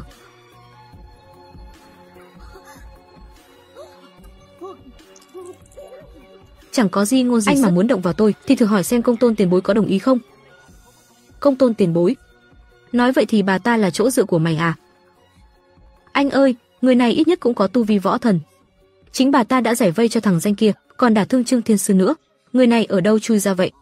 Sao tôi chưa từng nghe nói tới? Thực ra tôi không quen gì cậu ta hết. Không quen, không quen mà bà lại nói giúp nó à? Sao vậy? Muốn đối đầu với Phủ Thiên Sư hả? Tất nhiên rồi. Công tôn tiền bối. Là cao thủ tuyệt thế rất có ý thức chính nghĩa, cực kỳ coi thường đám chuyên làm chuyện ác như mấy người. Đừng nói vớ vẩn trước mặt thiếu chủ thì tôi tính là cao thủ tuyệt thế gì được. Hơn nữa, tôi không hề muốn đối đầu với phủ thiên sư. Tiền bối, có phải chị có nỗi khổ tâm nào Không không? sao, chị giỏi thế, thì sao phải sợ họ? Mau, mau lên, ôi trời ơi, xin cậu đấy, đừng nói nữa. À, tôi nhớ ra rồi, bình ga nhà tôi còn chưa khóa van, hay là tôi xin phép đi trước nhé. Tạm biệt. Ấy.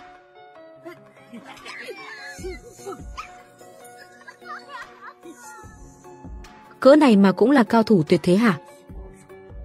Tôi khinh. Tôi khinh. Anh, sao anh dám đánh lén? Đánh lén thì thôi đi, thế mà còn đánh phụ nữ. Anh có phải đàn ông không? Ở đại hạ không có ai dám nói với tôi như thế. Cẩn thận tao đánh cho mày không còn cả hình người nữa đấy. Tôi nói cho anh biết, ở đây mọi con mắt đều đang nhìn vào.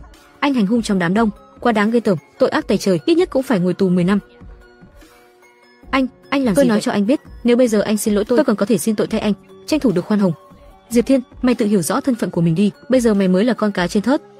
Thiếu chủ của bọn tao muốn chặt thế nào cũng được. Diệp Thiên, anh là thứ rác rưởi dưới đáy xã hội, còn chẳng bằng một con chó mà còn dám uy hiếp quý tộc hàng đầu đại hạ hả? Người ta chỉ động nhẹ một ngón tay là đủ khiến anh chết không toàn thây rồi. Oát con, trên người mày đầy sơ hở, mà còn dám uy hiếp tao hả? Sao nào, ỉ vào thế lực sau lưng mình à? Đúng vậy. Anh có biết sau lưng tôi là ai không? Là ai? Nói ra mấy người sẽ phải sợ chết khiếp. Là quảng đại quần chúng bảo vệ pháp luật, thế nào? Sợ rồi chứ gì? Tôi nói cho anh biết, với các quần chúng bảo vệ pháp luật, đám rác rưởi mấy người, chẳng là gì hết. Mày coi tao là thằng ngốc à, muốn chết hả? Thiếu chủ, nếu anh dám tấn công Diệp tiên sinh, thì nhà họ Tiêu sẽ hủy bỏ tất cả mối hợp tác với phủ thiên sư. Nhà họ Tiêu sẽ hủy bỏ tất cả mối hợp tác với phủ thiên sư. Enzo, hóa ra là cô chống lưng cho anh ta. Cô đắc tội tôi chỉ vì thằng ăn hại này hả? Anh sai rồi, Diệp tiên sinh mới là người cho tôi tự tin đứng trước mặt anh. Ngoài ra, đừng gọi tôi là em dâu. Có chuyện gì vậy? Anh ơi, ông nội cô ta tỉnh rồi. Không ngờ lại hóa giải được kỳ độc của phủ thiên sư. Chắc chắn nhà họ Tiêu đang có quý nhân hỗ trợ. Tốt nhất mình không nên hành động hấp tấp. Được lắm, tôi nể mặt nhà họ Tiêu. Nhưng để báo đáp, tôi muốn nhà họ Tiêu chuyển quyền phát triển ở phía Đông Đại Hạ cho phủ thiên sư. Đó là dự án lớn trong 10 năm là có thể thu về cả nghìn tỷ, thiếu chủ. Anh cũng tham quá đấy, cô có thể không giao ra. Nhưng tôi đảm bảo với cô, dù hôm nay nó có thể thoát được, thì tôi cũng sẽ dùng mọi sức mạnh của phủ thiên sư chặn mọi đường sống của nó. Được, tôi đồng ý. Không hổ là thiếu chủ. Chỉ mấy phút đã có được dự án cả nghìn tỷ, vậy 10 năm sau, tiền tài của phủ thiên sư có thể cạnh tranh với nhà họ Tiêu rồi. Không hổ là đại tiểu thư nhà họ Tiêu, cứ coi như là quà mừng của nhà họ Tiêu đi, còn việc của cô với em trai tôi thì chúng ta từ từ tính tiếp. Cảm ơn các vị khách mời đã đến dự tiệc đính hôn của tôi và Nhan Như. Nếu có chỗ nào tiếp đãi không được chú đáo, xin mọi người lượng thứ. Tôi xin mời mọi người một ly trước. Chờ đã. Tôi phản đối. Tôi phản đối. Mày phản đối hả? Dựa vào đâu mà phản đối? Diệp Thiên, cho anh cơ hội được sống rồi, mà anh còn chưa cút à? Diệp tiên sinh, tôi biết, với anh mà nói giao dịch này có thể là quá đắt, nhưng đó là phong cách làm việc của nhà tôi, nhận ơn thì phải báo ơn, tôi không nói tới việc đó. Tôi phản đối chuyện kết hôn này. Mày nói gì? Anh cũng đâu bị điếc từ phản ứng của mấy người, thì vừa rồi anh có nghe thấy mà, tôi đã nói tôi phản đối chuyện kết hôn này. Mày phản đối hả? Mày dựa vào đâu mà tranh luận với tao? Không phải chứ, Diệp Thiên, mày có biết bây giờ mình đang nói chuyện với ai không?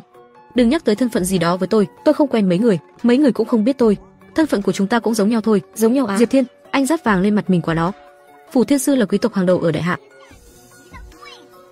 Trong môn phái có mấy chục nghìn môn đồ, thiếu chủ còn là niềm tự hào của phủ Thiên sư. Anh lấy cái gì ra đọ với người ta? Tôi thấy, một thục nữ như Nhan tiểu thư nên tìm người nhã nhặn lịch sự như tôi, chứ không phải kiểu giống anh, suốt ngày đòi chém đòi giết, như thằng lưu manh, thằng hề chỉ giỏi loè thiên hạ. Tao đã cho mày cơ hội, nhưng mày lại không biết quý trọng, thì đừng trách tao trở mặt. Lại, lại nữa rồi. Anh muốn trở mặt với ai?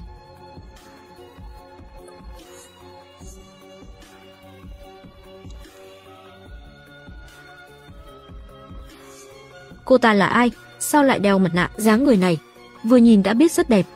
Dù sao thì Tiêu Diệt cũng từ chối mình rồi, có được người đẹp cỡ này cũng ổn lắm. Cô, cô, cô là ai? Tôi là cha anh. Cô. Sao cô lại đến đây? Tất nhiên là đến cứu anh rồi. Thế nào, còn không nói cảm ơn chị đây đi, cảm, cảm ơn cái đầu cô ấy. Cô nhìn đám người này là kiểu gì đi? Con gái con nữa, đến chỗ thị phi thế này làm gì? Anh đến được đây, thì sao tôi lại không được? Sau đấy, kỳ thị giới tính hả? Cô đừng nâng cao quan điểm vậy nhé. Tôi đang giúp cô đấy, coi tao như không khí đấy hả? Lại còn đứng đó tán tỉnh nhau nữa. Tôi không quan tâm cô là ai, chỉ cần cô ra mặt thay nó thì sẽ phải chết. Không ép anh, thì anh còn không biết mình mạnh thế nào đâu. Đi lên cắn anh ta đi.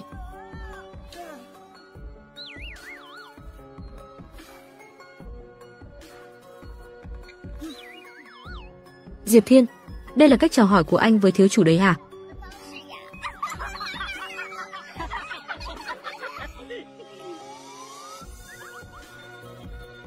Chỉ tại lúc châm cứu cho cô, tôi cởi quần áo cô ra mà cô lại muốn hại chết tôi à? Tôi làm thế là để cứu cô mà. Anh còn dám nhắc lại chuyện đó, tôi sẽ tiễn anh lên đường luôn ấy.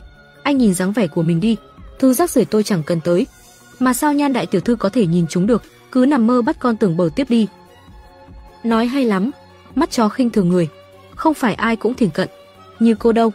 Cô, đúng vậy, nhan như tư chất rất cao. Có trí tuệ hơn người, mắt nhìn của cô ấy, sao có thể cùng đẳng cấp với cô chứ? Con nhỏ vớ vẩn ở đâu ra mà cũng dám nói thế với tôi hả? Tiên sinh có tài năng xuất sắc, ngàn người mới có một. Mắt nhìn kém là việc của cô. Dù nhan đại tiểu thư không biết thưởng thức, thì Diệp tiên sinh, tôi cũng bằng lòng lấy anh, hả? Tôi cũng bằng lòng lấy anh, hả? Tức chết mất. Nếu không phải tôi đưa Diệp Thiên tới, thì cô còn cứu được ông mình à? Không biết nhớ ơn thì thôi đi, thế mà còn muốn cướp đàn ông với tôi. Tiêu Duyệt, vì một thằng cặn bã dưới đáy xã hội mà cô lại từ chối nhị thiếu gia, cô đúng là con ngốc cách ngồi đáy giếng không biết biển rộng, vịt bơi dưới nước đâu biết được trời cao, mấy người thiền cận như thế. Thì sao hiểu được? Diệp tiên sinh cao quý tới mức nào? Trời ơi tôi tức quá, mày dám cướp phụ nữ với tao. Duyệt duyệt, sao em lại nghĩ quần thế? Rốt cuộc em thích thằng ăn hại này ở chỗ nào? Đồ thiền cận, Hôm nay tôi nói rõ rồi đấy, nếu Diệp tiên sinh bằng lòng cưới tôi, thì của hồi môn của tôi sẽ là 80% tài sản của nhà họ Tiêu. Cô điên à? Em mà nói sớm, thì anh có thể làm chó liếm chân cho em cả đời cũng được. Anh thì là cái thá gì? Tiên sinh, anh cứ nghe theo trái tim mình là được. Tôi không gấp đâu, tôi sẵn sàng chờ câu trả lời của anh. Xin lỗi nhé Tiêu tiểu thư. Tôi với Nhan Như đã có hôn ước rồi. Tôi không cưới cô được. Diệp tiên sinh, không sao, tôi sẵn lòng đi theo anh cả đời, không cần danh phận gì hết. Không không không, tuyệt, tuyệt đối không được. Tôi chỉ muốn, tất nhiên là không được. Sao cô có thể động lòng với người trong định mệnh của tôi vậy? Sao cô có thể động lòng với người trong định mệnh của tôi vậy? Cô không nghe thấy vừa rồi Diệp tiên sinh nói gì à? Ôi, được rồi mà, tuy tôi với cô có một chút duyên phận, nhưng cũng chỉ làm bạn được thôi, còn quan hệ thân mật hơn thì không được đâu. Anh chắc chắn chỉ muốn giữ quan hệ bạn bè với tôi thôi hả? Tất nhiên rồi. Tôi là người rất có nguyên tắc. Tôi bảo cưới Nha Như thì sẽ cưới cô ấy, tuyệt đối không có người phụ nữ nào khác. Cô cười gì? Anh, anh nhìn nó đi, nó không chỉ cướp người phụ nữ của em mà còn nhăm nhe cả vợ chưa cưới của anh nữa. Nếu không giết nó đi, thì thể diện của phủ thiên sư biết để vào đâu. Tao hiểu rồi, dù hôm nay là ngày đính hôn của tao, thì xem ra vẫn phải thấy máu rồi. Người đàn ông của tôi không cần người phụ nữ khác phải bảo vệ thay. Cô còn trẻ như thế đã có tu vi võ thần. Rốt cuộc cô là ai? Tôi nghĩ anh cũng đoán ra rồi mà.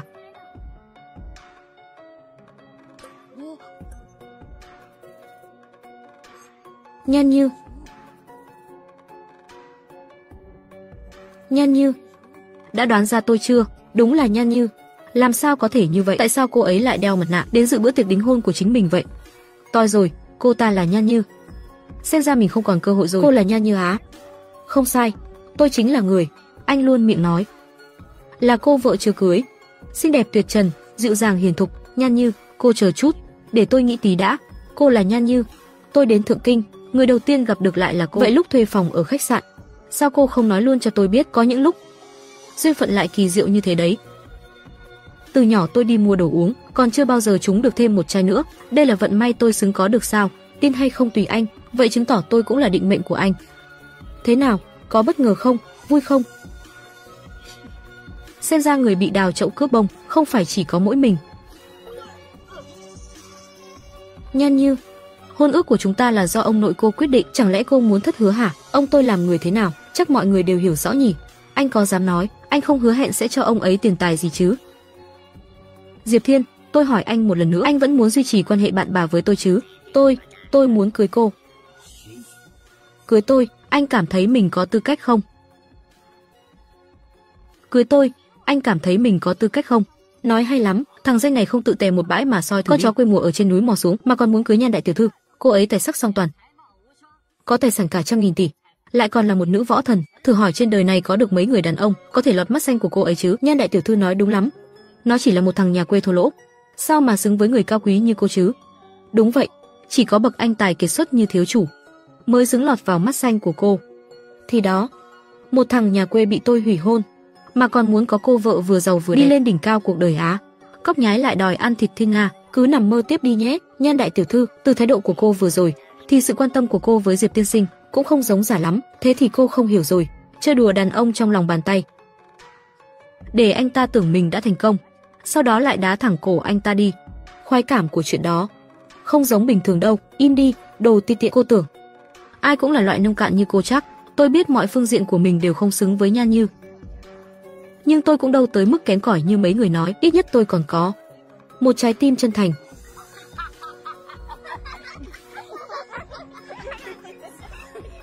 Chân thành thì có tác dụng gì? Anh có quyền lực không?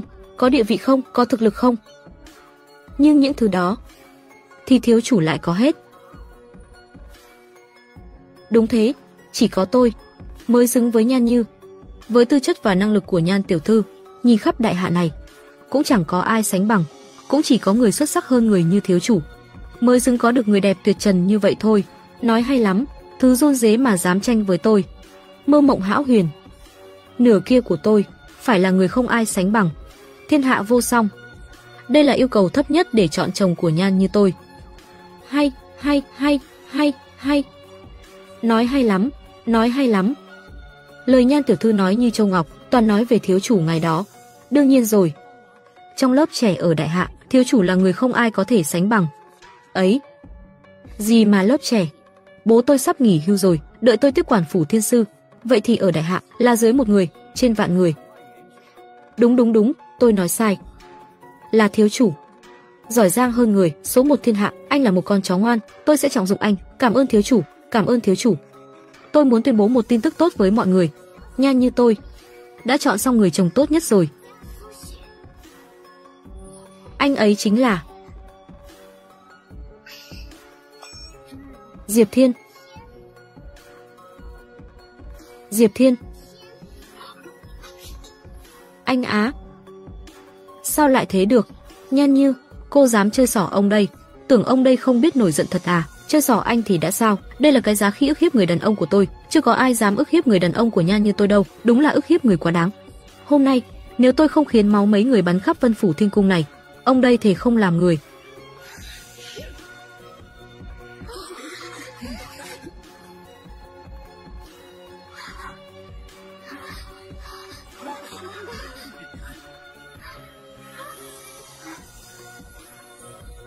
Không ngờ, cô cũng đột phá võ thánh bán bộ.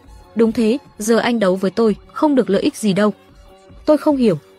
Thằng hèn này có gì mạnh hơn tôi? Anh ấy tốt hơn anh mọi mặt, chỉ có anh mắt mù, không phát hiện ra thôi. Thực ra anh cũng không, câm miệng. Người trong lòng tôi là anh hùng trên đời. Rồi sẽ có một ngày, anh ấy sẽ đạp lên giải cầu vồng, đi tới trước mặt tôi, bảo vệ tôi bình an cả đời. Diệp Thiên, à, chúng ta đi. Nhan Như, tôi sẽ cho cô thấy thằng này rốt cuộc là anh hùng hay gấu chó.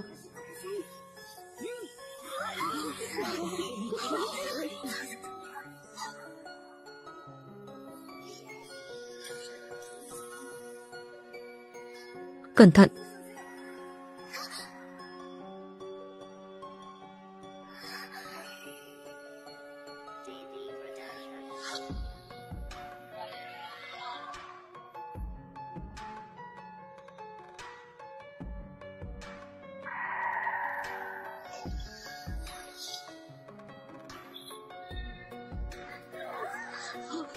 Anh, mày. Anh. Anh, anh.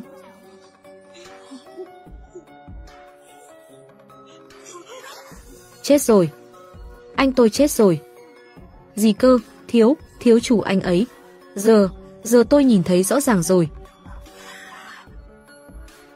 là Diệp Thiên giết thiếu chủ. Nhưng anh ta rõ ràng là thằng vô dụng mà, sao anh ta lại có thực lực khủng bố vậy được? Lẽ nào sư phụ tôi cũng chết trong tay anh ta?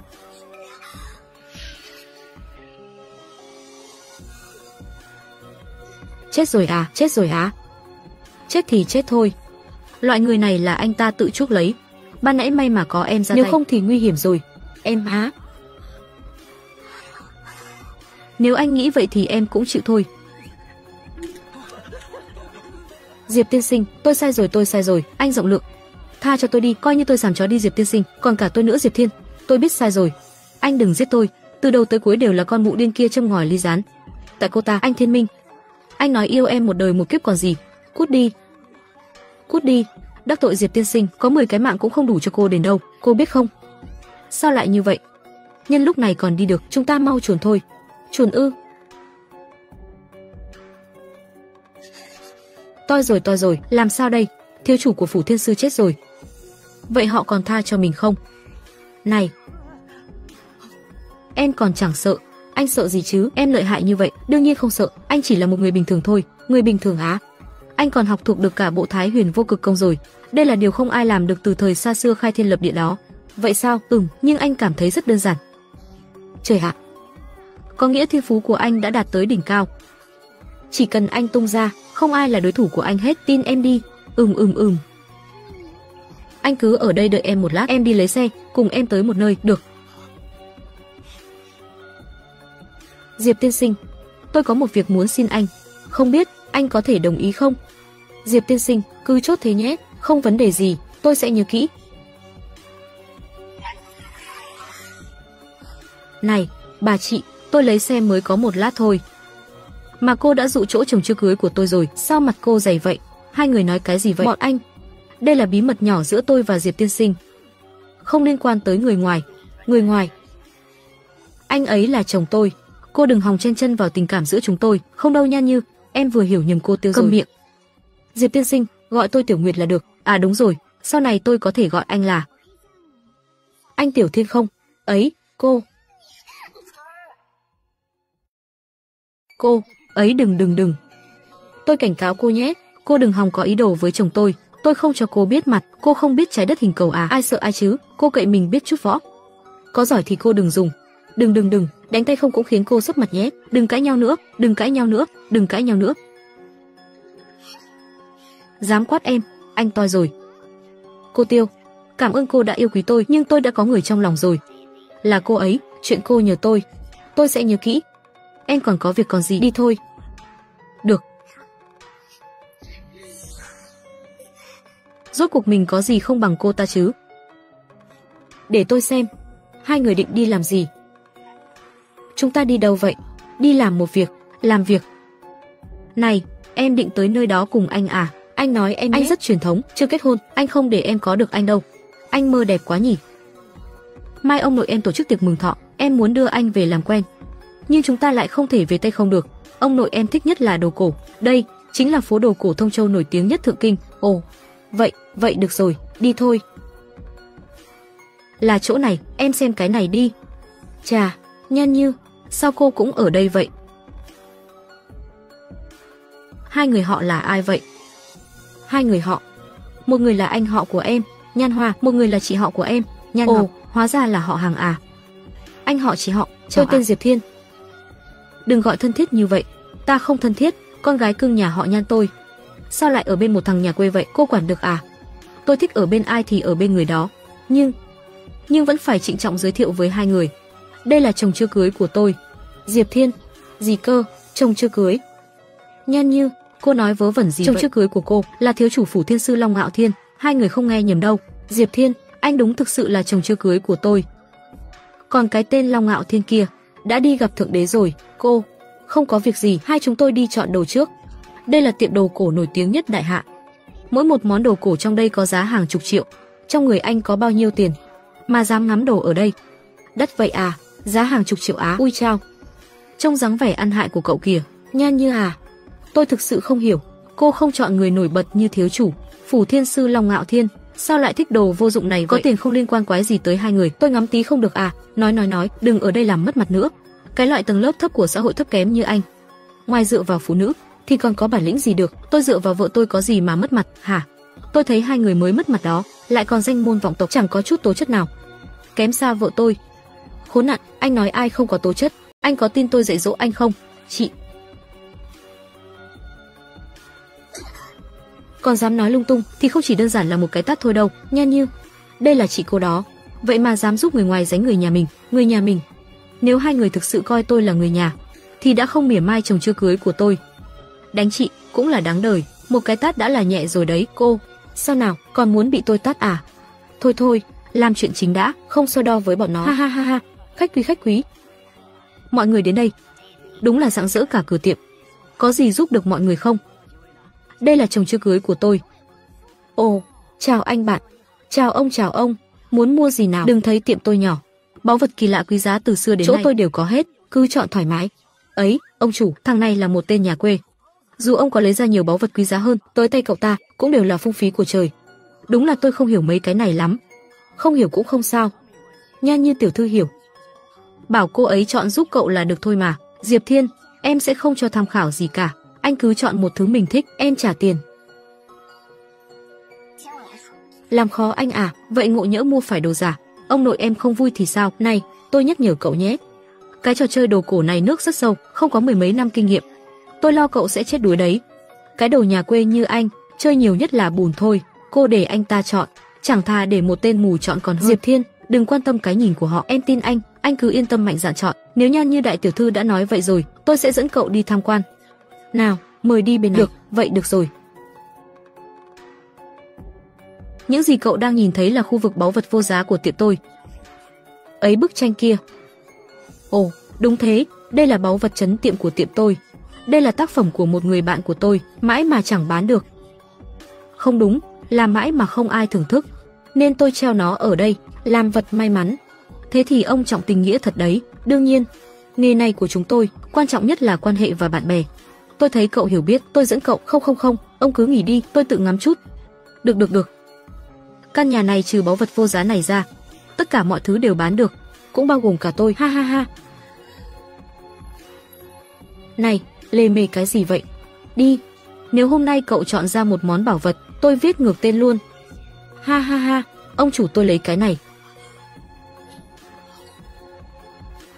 Cái này. Không bán được, hả? Tại sao? Ông nói ngoài những thứ bên kia ra, còn lại đều bán còn gì? Sao lại hối hận rồi? À, tôi biết rồi. Tôi phát hiện ra báu vật. Anh bạn hiểu nhầm rồi, đây là một cái bát vứt đi, thực sự không phải báu vật gì cả, ấy. Không phải báu vật ông lại đặt ở dưới tượng Phật, tôi biết rồi, cái này gọi là uy chấn tứ phương đúng không? À, chỗ này bị rột. Tôi chỉ lấy cái bát này để hứng nước thôi. Ha ha ha ha ha ha. Ôi chao, đúng là mở mang tầm mắt. Coi thứ vứt đi là báu vật, chỉ loại ngu như anh mới làm được thôi. Tôi mặc kệ, tôi muốn cái này, ông chủ cho cái giá đi, không bán là không bán. Tại sao? Không thì là ông đang lừa tôi, nếu nó là một cái bát bình thường thật. Sao không chịu bán cho tôi? Anh bạn đoán đúng một việc. Chiếc bát này là một cái bát tôi chọn ra trong nhiều cái bát. Bởi vì nó vừa khéo hứng được nước rột xuống trong một ngày. Nếu tôi bán cho cậu, tôi đi đâu tìm được vật đựng vừa đẹp vậy chứ? Vậy thì ông đổi cái bát to hơn là được rồi còn gì, không phải như vậy. Tất cả mọi thứ đều có cách dùng phù hợp nhất của nó.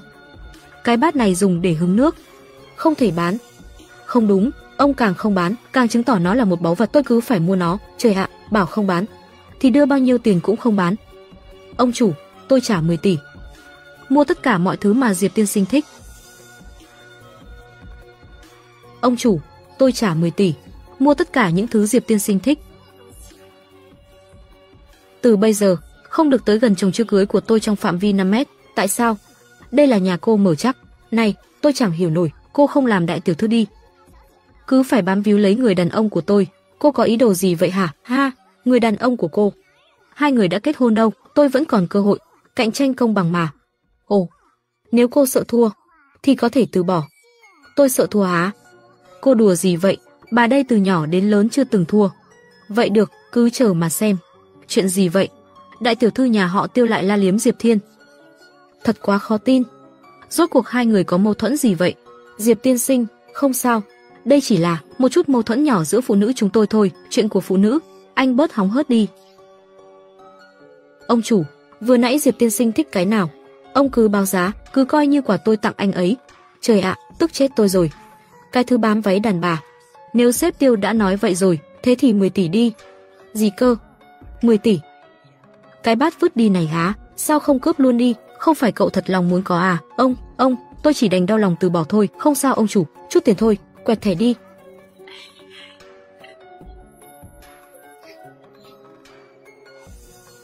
Muốn quẹt cũng là quẹt thẻ của tôi, người đàn ông của tôi mua, không cần người phụ nữ khác thanh toán đâu. Về tiền tài, nhà họ Nhan cô sánh bằng nhà họ Tiêu tôi chắc, vậy cũng không thể để người phụ nữ khác nuôi đàn ông nhà mình được. Đây chỉ là quà cảm ơn, đại diện cho tình nghĩa giữa tôi và Diệp tiên sinh. Cô đừng nghĩ nhiều. Cô cứ nằm mơ giữa ban ngày đi, được rồi, hai người đừng cãi nhau nữa, câm miệng. Tôi chịu luôn đấy. Anh bạn, anh bạn, anh bạn đúng là có phúc. Có hai người đẹp ghen tuông vì cậu. Có thể dạy lão già này không? Ha ha ha, ông muốn biết à? Ông tặng không cái bát kia cho tôi đi. Tôi sẽ dạy ông, được, tặng cậu đó. Tới đây, nói với ông, ông đó, phải học thuộc 300 bài thơ đường. À, đúng rồi ông Tôi chủ. hỏi ông thêm một chuyện, cái bát này, nó có gì đặc biệt vậy? Cái bát này ấy. Uầy, có chuyện thần kỳ vậy luôn à? Giả thì cho đổi trả. Rồi rồi rồi, hai người đừng tranh nhau trả tiền nữa. Chủ cửa tiệm này là một người tốt, ông ấy đã đồng ý, tặng cái bát này cho anh rồi. Những gì nói với anh tối qua anh đã nhớ chưa? Yên tâm đi, tuyệt đối không để em mất mặt trước họ hàng đâu. Anh đừng để ý cái nhìn của người khác, em chỉ cần anh muốn gì làm nấy thôi. Tiểu thư, mau vào đi, đều đang đợi cô đó, chúng ta vào thôi. Chào ông nội ạ. Được được được ha ha ha. Ngồi xuống cả đi. Ôi chào. Lão phu đã lớn tuổi vậy rồi, mà đám người trẻ tuổi các cháu vẫn nhớ tới, vui lắm, ha ha ha. Bố, hôm nay là đại thọ 70 của bố, đám hậu bối chúng con đều quay về từ ngàn dặm xa xôi. Ừm tốt, tốt. Ấy, sao Tiểu Như vẫn chưa tới? Chắc con bé còn chút việc bận. Bố cũng biết đó, giờ trách nhiệm trên người nó nặng nề lắm. À, hiểu. Năng lực càng mạnh trách nhiệm càng lớn mà. Tiểu Như nhà chúng ta, đúng thật là không thua kém gì đấng mày dâu. Ông nội, chúng cháu tới muộn. Tiểu Như, người này là anh ấy tên Diệp Thiên, mau chào ông nội. À, chào ông nội ạ. Lần đầu gặp mặt, mau chỉ bảo nhiều hơn. Này, đừng gọi linh tinh. Tiểu Như, đây là cháu không hiểu chuyện đấy nhé. Nay là tiệc gia đình của chúng ta, người tới đều là họ hàng bạn bè. Sao cháu lại dẫn người ngoài tới, người ngoài? À xin lỗi ông nội. Cháu quên giới thiệu, anh ấy tên Diệp Thiên, là chồng chưa cưới của cháu. Hừ, nực cười, chồng chưa cưới của cháu là Long Ngạo Thiên đứng trên vạn người. Không phải, cậu nhà quê tên Diệp Thiên đứng bên cạnh cháu, trời ạ, đó đều là quá khứ rồi, cháu tuyên bố từ hôm nay, Diệp Thiên chính là chồng chưa cưới của cháu. Với lại, chúng cháu sắp kết hôn rồi. Vâng. Càng quấy, cháu bị bố cháu chiều hư rồi, loại chuyện hủy hôn này mà cháu cũng làm được. Bố, bố bớt giận. Có khi có ẩn tình gì đó. Không rõ ràng rồi sao, làm gì có ẩn tình gì, cháu chọn người cháu thích. Không liên quan gì việc bố chiều cháu hết. Với lại, cháu không có cảm giác gì với Long Ngạo Thiên hết. Hoang đường, thiếu chủ phủ thiên sư là người cao quý như thế nào? Tên ăn hại bên cạnh cháu giỏi bằng nửa cậu ấy chắc, ông nội nói chí phải. Cái tên Diệp Thiên này cả người không có ưu điểm gì, đúng là chẳng có điểm nào thuận mắt. Chẳng biết em gái sao lại thích anh ta. Cô có mắt mà chả có tác dụng gì cả. Tôi cảm thấy bộ quần áo tôi mặc hôm nay rất xịn. Vừa chưa cưới chọn cho tôi. Chà, sao nào? Ăn bám. Còn trắng trợn như vậy luôn à? Thể diện đàn ông bị cậu làm mất sạch rồi. Tôi tiêu tiền cho người đàn ông của tôi, anh quản được chắc. Ông nội, lần này ông biết tại sao em gái tới muộn rồi chứ? Chắc chắn là đi hẹn hò với tình nhân nhỏ này. Được rồi, nếu đã tới rồi, thì ngồi xuống đi, kẻo người khác lại nói nhà họ Nhan chúng ta thiếu giáo dục, ngồi đi. Diệp Thiên, hôm nay là đại thọ 70 của lão gia, có mang quà gì tới không? À, có, có. Ông nội, đây là món quà cháu lựa chọn tỉ mỉ cho ông. Ông xem có thích không? Hừ, đây là thứ gì? Ông nhẹ thôi, đây là báu vật đấy, nó tên bát lưu ly bát bảo, đựng đầy nước sạch, để nửa tiếng là sẽ hấp thụ được linh khí tám phương. Uống vào có thể kéo dài tuổi thọ. Vậy sao? Thần kỳ vậy à, đúng vậy, chính ông chủ phố đồ cổ Thông Châu nói với cháu đó, ấy ông nội. ông đừng để thằng này lừa. Khi đó cháu ở ngay đấy, cái bát này rõ ràng là cái bát này dùng để hứng nước rột. Cũng là cậu ta không biết hàng còn cầm nó coi như báu vật. Hấp thụ linh khí, kéo dài tuổi thọ gì chứ, anh dám lừa gạt ông nội như vậy, hừ, xui xẻo. Thằng danh, hôm nay tôi sẽ cho cậu biết, cái gì mới là báu vật thực sự. Ông nội, mời ông xem. Trà, trà tuyết sâm ngàn năm. Ha ha ha. Trà tuyết sâm ngàn năm gì? Đó chẳng phải trà bình thường sao, xem ra cậu tới gây sự à. Đây là trà tuyết sâm ngàn năm nổi tiếng lẫy lừng đấy. Cậu lại dám nói nó bình thường, vô dĩ là bình thường mà, còn không cho cậu. Tiểu Như, bảo cậu ta cầm miệng đi kẻo lại mất mặt ở đây. Đừng nói nữa anh. Nào, pha cho mọi người. Đây là trà ngon hiếm có đấy.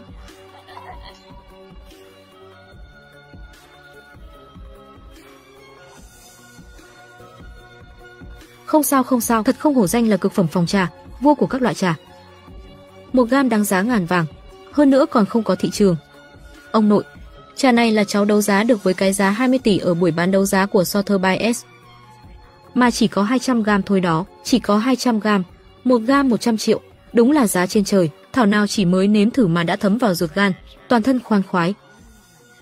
Có phải là quên rót cho Diệp Thiên rồi không, để cho cậu ấy nếm thử với. Chú hai, cậu ta là một thằng nhà quê từ có thể thưởng thức ra được mùi vị gì chứ, cho cậu ta uống, không phải là phung phí của trời sao? Ừ, cậu ta không xứng. Sao mọi người có thể đối xử với anh ấy như vậy chứ? Nào, Diệp Thiên, anh uống cốc của em này. Không cần đâu, anh không muốn coi uống. như anh cũng tự biết mình. Loại thức tiền này, cho anh uống cũng là lãng phí. Uống đi,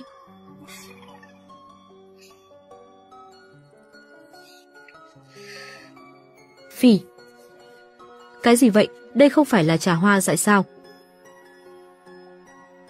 Cậu gọi trà này là trà hoa dại Cậu sao? có biết mình đang nói gì không? Người nghèo chính là người nghèo. Loại trà này chính là hàng thượng đẳng của thượng đẳng trong giới nhà giàu chúng tôi. Cậu có thể uống một ngụm, đã là phần mộ tổ tiên nhà cậu bốc khói xanh rồi, thế mà cậu lại còn nôn hết ra, phung phí của trời. Lợn rừng không ăn được cám ngon. Đúng là không có lộc ăn, uống không quen là rất bình thường. Đừng nghe bọn họ nói linh tinh, không phải là uống không quen, anh đã uống chán rồi. Hồi anh còn ở nhà ngày nào cũng uống. Nhai khô từng nắm một. À đúng rồi, mọi người vẫn chưa biết đúng không? Thứ này còn có thể dùng để tắm đó, đủ rồi. Mấy lời ngông cuồng của cậu tôi đã nghe chán rồi, trả tiền giá trị cả trăm triệu. Lại bị cậu nói là dùng để tắm. Tôi chưa từng thấy thằng khốn nào nói năng không suy nghĩ như cậu. Có thể cho anh ngồi vào bàn, đã là ban ơn cho anh rồi, anh lại còn ở đây nói khoác không biết ngượng, chơi đùa chúng tôi như lũ khỉ là có ý đồ gì, nói thật mà thôi. Nếu như mọi người không tin, Tôi sẽ gọi điện thoại cho em họ tôi, bảo em ấy mang một bao đến đây. Vừa hay mọi người cũng thích, cậu chém gió có thể nháp trước không? Cậu có biết một bao trà sâm có giá là bao nhiêu không? Đáng giá bằng tổng tài sản của tứ đại gia tộc đó. Được rồi, để tôi gọi điện thoại. Alo, tiểu sư muội, em giúp anh mang một bao trà cỏ dại trong vườn sau núi nhà chúng ta đến đây với. Đúng đúng đúng, chính là thứ bình thường dùng để tắm đó. Được, để anh gửi địa chỉ Khốn cho kiếp. em. Khốn kiếp. Nhà họ Nhan là nơi để cậu ngang ngược sao? Còn tặng cái gì mà hoa dại? Cậu mong tôi chết sớm à? Không phải, ông đừng kích động, không phải ông nói ông thích uống sao, nên cháu mới bảo em họ cháu mang đến một ít, vừa hay cũng để làm quà mừng thọ cho ông mà. Diệp Thiên, cậu so trà tuyết sâm giá cả chục tỷ với hoa dại sao? Cậu ngu thật đấy. Lại còn ở đây lòe thiên hạ nữa, mỗi một người ở đây đều có kiến thức hơn anh. Cái trò lừa bịp này của anh sẽ chỉ khiến chúng tôi chán ghét anh hơn thôi. Tôi thể là thứ này có mùi vị y hệt như trà hoa dại của nhà chúng tôi vậy. Ấy, anh khỏi phải Mùi nói. vị của trà hoa dại nhà chúng tôi còn tươi hơn thứ này. Thứ này nếm thử giống như y như cái mùi để 2-3 năm rồi vậy. Cho nên tôi mới nhổ ra, ăn nói sằng bậy, tôi mới mua tuần trước đó. Cậu có biết người bán trà là ai không? Là trà thánh nổi tiếng nhất đại hạ đó. Ông ấy đã cam đoan với tôi rằng đây là trà mới năm nay mà. Ôi, thế chắc là anh bị lừa rồi. Mau tìm ông ta đòi bồi thường gấp 10 đi. Đủ rồi, Diệp Thiên, cậu đúng là ngang ngạnh ngu xuẩn hết thuốc chữa. Ông nội, ông đừng chấp nhặt với cậu ta. Một thằng nhà quê thì hiểu cái gì chứ? Nói về kiến thức còn chẳng bằng con chó nhà chúng ta nữa, tức giận với cậu ta chỉ làm tổn hại thân phận của ông cũng phải. Loại người này không được xuất hiện ở tiệc mừng thọ của ông, cậu cút đi. Nếu như mọi người muốn đuổi chồng chưa cưới của cháu đi thì cháu cũng không ở đây nữa, cháu muốn vì thằng này mà đoạn tuyệt với gia tộc thật sao? Sự tôn trọng đến từ hai phía, cháu khuyên ông hãy cư xử đúng mực. Cháu, anh họ, em đến rồi. Anh họ, em đến rồi. Mệt chết đi được. Em mặc cái gì vậy? Thế nào? Đẹp không? Cũng được, cũng đẹp đấy. Nào, để anh giới thiệu với em. Đây là vợ chưa cưới của anh, Nhan Như. Em họ đúng không? Sao chị chưa từng nghe thấy Diệp Thiên nhắc đến em nhỉ? Chào em. Chào chị dâu. Có thể là vì thời gian hai người quen nhau có hơi ngắn, nhưng mà em và anh họ em đã quen nhau 20 năm rồi đó. Nhanh mồm nhanh miệng đấy. Đây là em gái ngoan của anh. Em đã mang đồ đến cho anh rồi, em phải lén lút chuồn ra ngoài đó, bây giờ em phải đi ngay rồi. Được rồi, vậy em về đi, vất vả cho em rồi. Anh họ, chỉ cần là vì anh, vất vả nữa em cũng bằng lòng. Được rồi, về trước đi. Vậy em đi đây, ừ, hứ. Sau khi kết hôn anh đón em lên thành phố nhé. Được. Bye bye. Con bé này tốt bụng thật đấy. Ta. Nhà anh còn bao nhiêu cô em họ như hoa như ngọc như vậy nữa? Có cần đón hết lên luôn không? Một một, chỉ có một thôi. À đúng rồi, còn ba người cô nữa. Anh, muốn kết hôn với Như Nhi à? Nằm mơ giữa ban ngày, tôi không đồng ý. Ông nội, ông đừng vội từ chối như vậy chứ. Lỡ như ông thích trà của cháu, cứ muốn gả cháu gái ông cho cháu thì sao? Ông xem.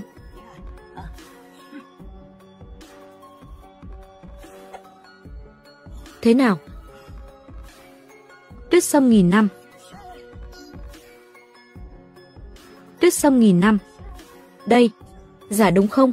Tên này sao có thể có tuyết sâm nghìn năm được? Ông sẽ không nhận lầm đâu. Nhiều năm trước, ông từng thấy tuyết sâm nghìn năm hoàn chỉnh, chính là như thế này.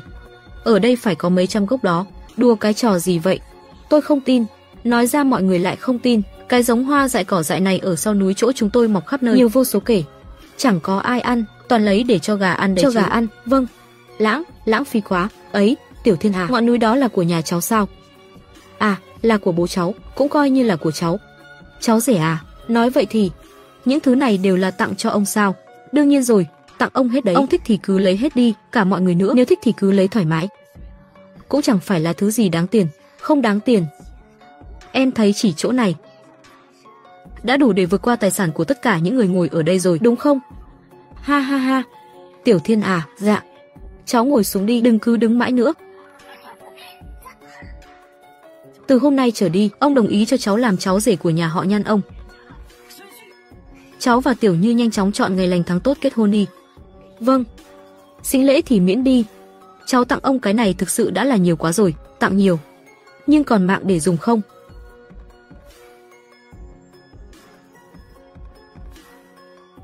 Tặng nhiều. Nhưng còn mạng để dùng không? Ôi, Trương Thiên Sư à, ông đã vậy rồi mà vẫn còn đi làm à, tàn những không phế đúng không? Bái phục bái phục, thằng danh con nhà cậu. Á,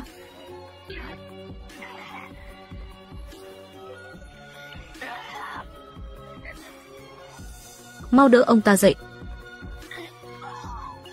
Long phủ chủ đại giá Quang Lâm xin lỗi vì đã không nên đón từ xa, mời ngồi. Ngồi thì không cần đâu. Một thằng nhà quê lấy hàng giả ra mà đã chơi đùa mấy người quay vòng vòng. Các người vẫn còn không biết xấu hổ tự xưng là hào môn à, hàng giả. Mỗi năm phủ thiên sư tôi mới có thể có được một gốc trà thánh tuyết sâm tiếng cống. Cậu ta là cái thá gì? Mà có nhiều như vậy động não đi có được không? Tôi đã nói mà, sao có thể có nhiều tuyết sâm nghìn năm như vậy được? Cảm ơn phủ chủ có mắt tinh tường, nhìn thấu quỷ kế của người này. Ấy, sao ông lại giở quẻ? Vừa nãy vậy? ông còn nói chúng ta là người một nhà mà, ai là người một nhà với cậu? Cậu cũng không tè một bãi soi lại bản thân mình xem rốt cuộc là cái thá gì. Có tư cách gì để cưới Như Nhi nhà chúng tôi? Chỉ có Long thiếu gia mới là rể hiền của nhà họ Nhan chúng tôi. Cậu còn không mau cút đi. Lão Nhan, e là ông vẫn chưa biết tối qua Vân phủ Thiên cung đã xảy ra chuyện gì đúng không? Chẳng trách, ông lại coi thằng danh này là cháu rể. Nếu như nhà họ Nhan làm như vậy thật, thì cách diệt tộc không còn xa đâu. Tối qua đã xảy ra chuyện gì vậy? Cậu ta điên cuồng mất trí. Chém chết con trai tôi, Ngạo Thiên. Cậu ta điên cuồng mất trí. Chém chết con trai tôi, Ngạo Thiên, cái gì? Giết chết thiếu chủ phủ thiên sư, Long Ngạo Thiên. Chuyện này hoàn toàn chính xác. Tôi đã tận mắt nhìn thấy toàn bộ quá trình Diệp Thiên giết hại thiếu chủ. Diệp Thiên, cậu điên rồi à? ai cho cậu lá gan vậy Đó chính là thiếu chủ phủ thiên sư đó. Đúng là trà sống phủ thiên sư có vài trăm nghìn môn đồ, chỉ nước bọt đã đủ dìm chết anh rồi. Cô im đi. Hôm nay và ngũ đại thiên sư đều đã đến đây. Vẫn còn một trăm nghìn võ giả tinh nhuệ cũng đang trên đường đến. Diệp Thiên, anh có mọc cánh cũng khó thoát. Phủ chủ, Diệp Thiên thực sự không hề liên quan đến nhà họ Nhan chúng tôi. Cậu ta gây ra họa lớn, muốn chém muốn giết tùy ông, Ông, sao ông trở mặt nhanh vậy? Vừa nãy ông còn nói cháu là cháu rể của ông Bây à? giờ ông lại muốn giao cháu ra ngoài à? Sao ông trở mặt nhanh thế? Hừ. Vợ ơi, sự việc bại lộ hay là chúng ta chạy đi? Ấy. Nhanh vậy mà đã rũ bỏ sạch sẽ quan hệ rồi, không hổ là ông nội tốt của cháu. Nhanh vậy mà đã rũ bỏ sạch sẽ quan hệ rồi, không hổ là ông nội tốt của cháu. Nhan như à, cháu còn muốn ương bướng đến lúc nào nữa? Bây giờ cháu hãy lập tức bảo cậu ta nhận tội với phủ chủ. Phủ chủ muốn chém muốn giết, không được ngăn cản, vì nhà họ Nhan. Mà cháu phải hy sinh chồng chưa cưới của cháu sao? Cậu ta chỉ là một người qua đường không quan trọng. Cậu ta được chết vì nhà họ Nhan là vinh hạnh của cậu ta. Ông không thương lượng với cháu. Đây là mệnh lệnh, phải làm theo. Cháu từ chối. Cháu, cháu là cái đứa bất hiếu, càng ngày càng lụ bại. Ông sẽ đuổi cháu ra khỏi nhà họ Nhan. Ông đúng là nhanh quên. Nếu không phải thế hệ này của nhà họ Nhan có cháu, nhà họ Nhan vẫn còn đang khổ sở vật lộn trong tầng lớp các gia tộc trung lưu, ông cũng sẽ không nóng tính như bây giờ. Cháu, đừng tức giận. Đừng đừng đứng. Coi như ông nội cầu xin cháu đấy, chúng ta không đắc tội được với phủ thiên sư đâu. Có gì mà không dám đắc tội chứ, nhà họ tiêu tôi nguyện dùng sức lực của cả tộc để giúp đỡ Diệp tiên sinh. Nhà họ Tiêu tôi nguyện dùng sức lực của cả tộc để giúp đỡ Diệp Tiên Sinh, Tiêu Duyệt. Sản nghiệp của Phủ Thiên Sư trải dài khắp đại hạ, có 73 công ty niêm yết. Sáng nay nhà họ Tiêu tôi đã tập hợp 1.000 tỷ tiền vốn đợi sau khi cổ phiếu được mở bán, giáng mạnh một đòn. Kể từ sau sáng nay, những công ty này sẽ không còn tồn tại nữa. Sao cô cũng đến lội vào vũng nước đục này vậy? Diệp Tiên Sinh, anh hiểu lầm rồi. Hành động lần này của nhà họ Tiêu cũng có suy tính khác.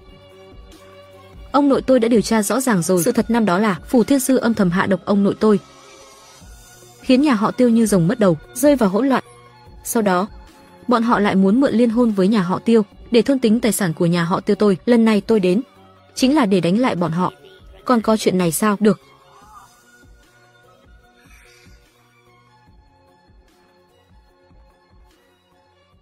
Cái gì? Nhà họ Tiêu cô được lắm, không ngờ lại dám đối đầu với bổn tọa, hôm nay hãy cùng tan thành mây khói với thằng nhãi danh đó đi.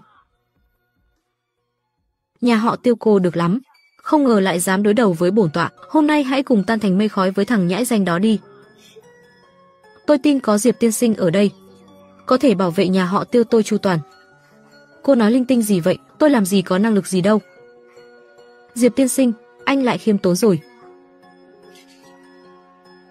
Được, Vậy hãy để tôi xem xem thực lực của cậu đến đâu. Không cần phải làm bẩn tay phủ chủ, tu vi của năm sư huynh tôi rất mạnh. Dùng ngũ hành diệt hồn trận, cho dù là võ thánh cũng có thể giết được. Diệp Thiên, hôm nay cậu chết chắc rồi. Ấy đừng đừng đừng, oan có đầu nợ có chủ. Các người có thủ oán gì, cứ việc nhắm vào chúng tôi. Ấy, em chắc chắn một mình em có thể diệt sạch bảy người bọn họ chứ. Ai nói là em đánh, em vẫn còn con át chủ bài à? Đương nhiên. Chính là anh.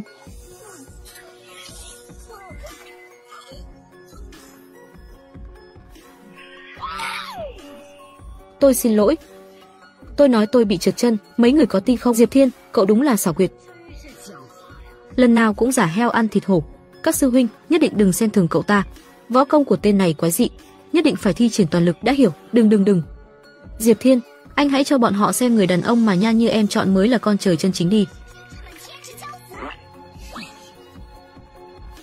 Ôi chao tổ tông của em ơi, rốt cuộc anh còn muốn nhịn đến lúc nào nữa? Anh làm vậy là ăn chắc mặc bền, chỉ cần anh chậm rãi lùi về sau, bọn họ sẽ không ra tay. Đây chính là quy tắc trên giang hồ. Cho nên anh định để người vợ chưa cưới đẹp tựa thần tiên, thiên phú tuyệt đỉnh của anh. Một mình đối mặt với năm gã đàn ông sao?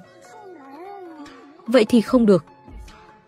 Vậy thì lên đi, a a ha. Em có thể cùng lui với anh mà, Diệp Thiên. Giờ này mà vẫn còn liếc mắt đưa tình. Người đâu? Lên cho tôi. Giờ này mà vẫn còn liếc mắt đưa tình. Người đâu? Lên cho tôi.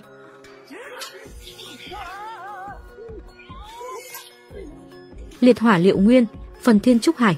Hoàng Thiên Hậu Thổ, Thảo Mộc Giai Binh, Hoành Tảo Bát Phương, Bộ Thủy Nhất Chiến, Đấu Phá Thương Khung, Linh đang nhập mục, trấn áp trời chu đất diệt.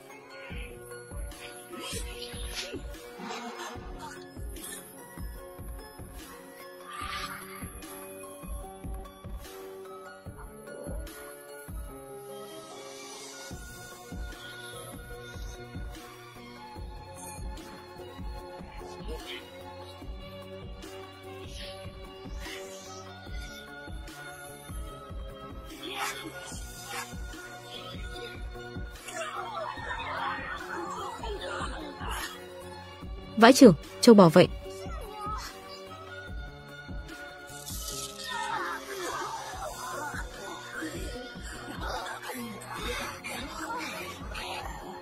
Năm vị sư huynh kết trận, rõ ràng có thể chống lại ngũ thánh, bây giờ lại chẳng trụ được một hiệp. Diệp Thiên, rốt cuộc cậu là thần thánh phương nào? Đây vẫn là tên vô dụng bị mình từ hôn sao? Mấy người sao vậy? Á á á đừng qua đây, đừng qua đây, đừng lớn tuổi đây. rồi, anh làm vậy sẽ dễ bị viêm khớp đó, á quái vật. Đừng qua đây. Diệp Thiên, rốt cuộc là cậu đã làm thế nào hả? Năm sư huynh tôi đều là tông sư võ học. Cậu là ma quỷ sao? Mà có thể khiến bọn họ bị thương thành ra như vậy, tôi khiến bọn họ bị thương lúc nào chứ? Ấy, mấy người mấy người còn muốn ăn vạ tôi đấy hả? Một lần không đủ lại còn đến những năm người, mấy người mới là ma quỷ ấy, ông có thể đổi người khác không? Sao cứ nhắm vào một mình tôi vậy? Có lương tâm không vậy? Đủ rồi. Bổn tọa hành tẩu giang hồ mấy chục năm, lần đầu tiên gặp phải loại người như cậu, rõ ràng mang tu vi vô cùng mạnh mẽ, nhưng lại cứ giả ngây giả ngốc ở đây, làm vậy thú vị lắm sao? Ai, tôi thì có năng lực gì chứ? Hừ. Vậy thì chúng ta hãy xem năng lực thực sự của cậu là gì. Diệp Thiên, anh phải cẩn thận đấy. Đối thủ lần này của anh là Long Phi, lợi hại hơn những người trước đó nhiều, ông ta là một võ thánh tuyệt thế,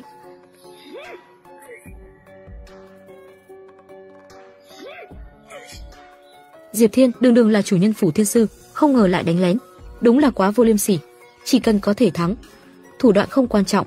Chiêu này của tôi gọi là ngũ độc phệ tâm trường. Mùi vị thế nào? Mùi vị. Không có cảm giác gì cả. Hà, sao có thể chứ? Quả nhiên không làm mình thất vọng, đừng đắc ý quá sớm. Hừ, chiêu liệt thạch xuyên tâm trưởng này của tôi thế nào?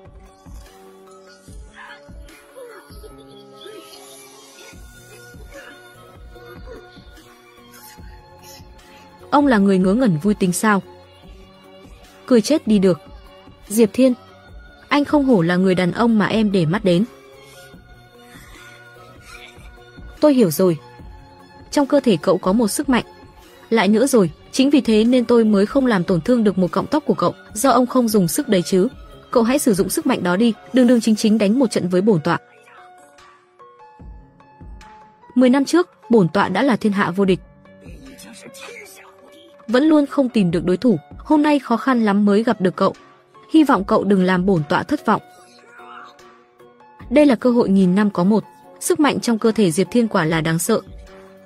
Có thể mang đến cho mình cảm giác bị chèn ép hoàn toàn, mình phải mượn áp lực này để thử đạt được cảnh giới thần tiên lục địa trong truyền thuyết. Ông nói cái gì vậy? Tôi thì có năng lực gì chứ? Tôi chả có cái gì hết. Đây là do cậu ép tôi đó. Ông, ông thả bọn họ ra. Diệp Thiên, hãy sử dụng sức mạnh đó đi, nếu không tôi sẽ vặn gãy cổ của hai người họ. Đừng. Cậu không muốn để người phụ nữ của cậu ngọc nát hương tan đúng không? Diệp Thiên, tin tưởng bản thân anh có thể mà. Anh có thể làm gì chứ? Anh không thể đâu. Từ lúc anh xuống núi đến nay, tất cả kẻ thù mà anh từng gặp đều do chính bản thân anh đánh bại. Hả? Chỉ là anh quá nhát gan. Lần nào cũng sợ hãi nhắm chặt mắt.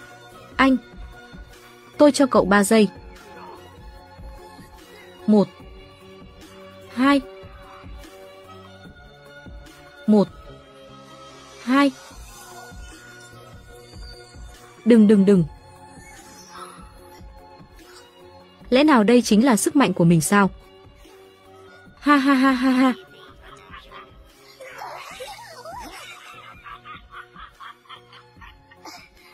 Bổn tọa sắp thành tiên rồi sử dụng sức mạnh đó đi, vậy thì như ông mong muốn. Đến đi, đại bằng nhất nhật đồng phong khởi. Phù giao trực thượng cửu vạn lý,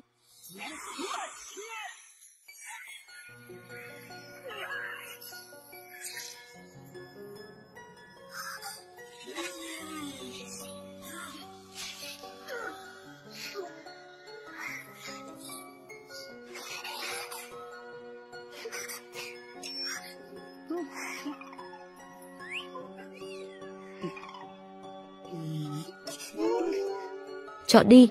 Có cô ta thì không có tôi, có em thì không có cô ta.